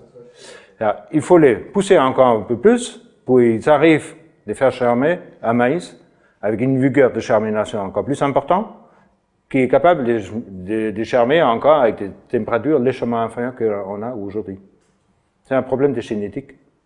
Aujourd'hui, toute la, la, sélection du maïs, elle est faite pour des sols qui sont travaillés. Et alors, si vous ne faites pas attention, vous choisissez un maïs qui n'est pas adapté au SMITAC ou utilisé en SMITAC, vous avez tout perdu. Non, pas forcément, mais on est capable de trouver ça. Et de toute façon, si vous ne mettez pas DCC en place chez vous, vous ne trouvez jamais qu'est-ce qu'il qu'est-ce qu'il convient chez vous. Soit dans un groupe, ou soit vous-même vous tombez avec la variété du maïs, soit vous avez la chance, non, le choix des variétés, soit vous avez la chance, vous avez gagné parce que vous avez eu l'année, la variété qui s'est bien exprimée. Pas mal chance, vous avez choisi un mauvaise parce que les noms ne vous avez pas plu ou quoi que ce soit, quels critères vous utilisez, bah, vous avez tout perdu. Mais c'est lié à la variété, rien à voir avec le système. Parce que le seul, le, seul critère que enfin, moi je me fixe, c'est bah, sur une variété de maïs, je ne pas un PNG en dessous de 400 grammes bah, la graine, il faut qu'elle ait de la réserve justement dans ce système-là. Mais est-ce que c'est dans cette direction-là C'est pas que ça. Non. Non, non. non. De temps en temps, vous avez une vigueur de démarrage avec une graine qui est plus petite, que mieux comme avec une graine qui est plus grande. Vous avez plus de réserves dedans, mais ça, c'est les réserves nutritives. c'est pas, ça n'exprime pas forcément les vigueurs de démarrage. Si vous regardez chez Arvelis, normalement, ils sont les vigueurs de démarrage dans leur description des variétés. Et vous pouvez trouver ça sur Internet, vous regardez maïs, euh, variété, euh, on trouve des tableaux. Pour les semis directs, en fait, il y, y, euh, y, a des indications pour les semis directs, pour les semences ben, Il y a beaucoup de choses qui sont complètement différentes vis-à-vis d'un TCS ou un labour. C'est clair. Ici, on prend le pas en compte, ben, soit on a une chance, ou soit on se plante complètement. C'est complètement une autre façon de cultiver. Et tout ce qu'on a appris jusqu'à présent, c'est mieux de mettre dans un placard et on recommence à apprendre. Non, je n'ai pas dit, attendez. je n'ai pas dit, vous rentrez dans un placard. Surtout pas. Non, mais beaucoup, qu'est-ce qu'on a appris ben, C'est différent. Parce que le travail du sol, Vous recommencez à chaque fois à zéro. Et le semi-direct, vous n'arrêtez jamais. C'est pas la même chose. Et pour ça, on parle, c'est un système, c'est pas une façon de cultiver, c'est un système de cultiver qui est complètement différent. Pour euh, la destruction des végétaux, vous faites comment Moi, aujourd'hui, encore euh, chimique. Personnellement, mécanique. Ça dépend, oui. Mais toujours parce que c'est moi qui décide quand les couverts s'arrêtent. Et pas l'échelle. L'échelle, je ne contrôle rien. Soit il gèle ou il gèle pas. S'il gèle beaucoup trop tôt, bah, je sais plus rien, mon assiette est vide et euh, mon sol il va vivre avec quoi. Et comme je n'aime pas les mécaniques aujourd'hui, je fais un recours aux chimiques. Euh, parce que sur les couverts végétaux, le problème en général, c'est les graminées, non euh, Les graminées, c'est pas un problème aujourd'hui. De supprimer des graminées dans un couvert, c'est pas un problème aujourd'hui, dans ce système classique, pas dans ce système bio. Avec la mécanique, oui, voilà, pure mécanique, c'est compliqué. Quoi. Oui. Oui. C'est vraiment Oui. ça qui pose un problème, ou il y a d'autres plantes qui vous posent des problèmes Enfin, non, du coup, mais. Vous pouvez, euh, vous êtes en bio? Ouais, oui. En bio, vous pouvez compter sur certaines espèces qui étouffent tout le monde, mais comment vous arrêtez de cette espèce-là En bio, vous pouvez travailler avec des trèfles blancs Non. Il étouffe tout le monde. Mais comment vous arrêtez un trèfle blanc Non, après? Ben, uniquement avec des mécaniques. Vous pouvez les scalper, vous pouvez machin, si vous ne le supprimez pas correctement mécaniquement, il va toujours, je suis là, je vais pousser. Bien. Vous avez deux solutions. De dire, on, on étouffe, d'accord, de temps en temps, mais de temps en temps, vous n'étouffez pas parce que les conditions climatiques ne vous avaient pas permis d'étouffer. L'année dernière, en, en été, nous, on a compté, super, on récolte très tôt, des couverts, ils vont étouffer tout le monde. Non. Les mauvaises herbes, ils sont tous étouffés parce que le couvert, il ne poussait pas, il a fait trop sec. Et là, vous faites quoi? Ça, c'est chimique ou mécanique? Et comme je n'aime pas les mécaniques, parce que les champignons, ils n'aiment pas euh, les mécaniques, après, on va dire, non, on scalpe uniquement à 3 cm. Non. Vous n'arrêtez pas un récrin à 3 cm de profondeur, votre sol, il n'est jamais aussi plat comme la table, alors ça veut dire vous êtes obligé de travailler plus profondément. Alors si je coupe la tête ici, ben, il est mort, ici, il est mort aussi, le bonhomme. Alors, j'aime pas les mécaniques.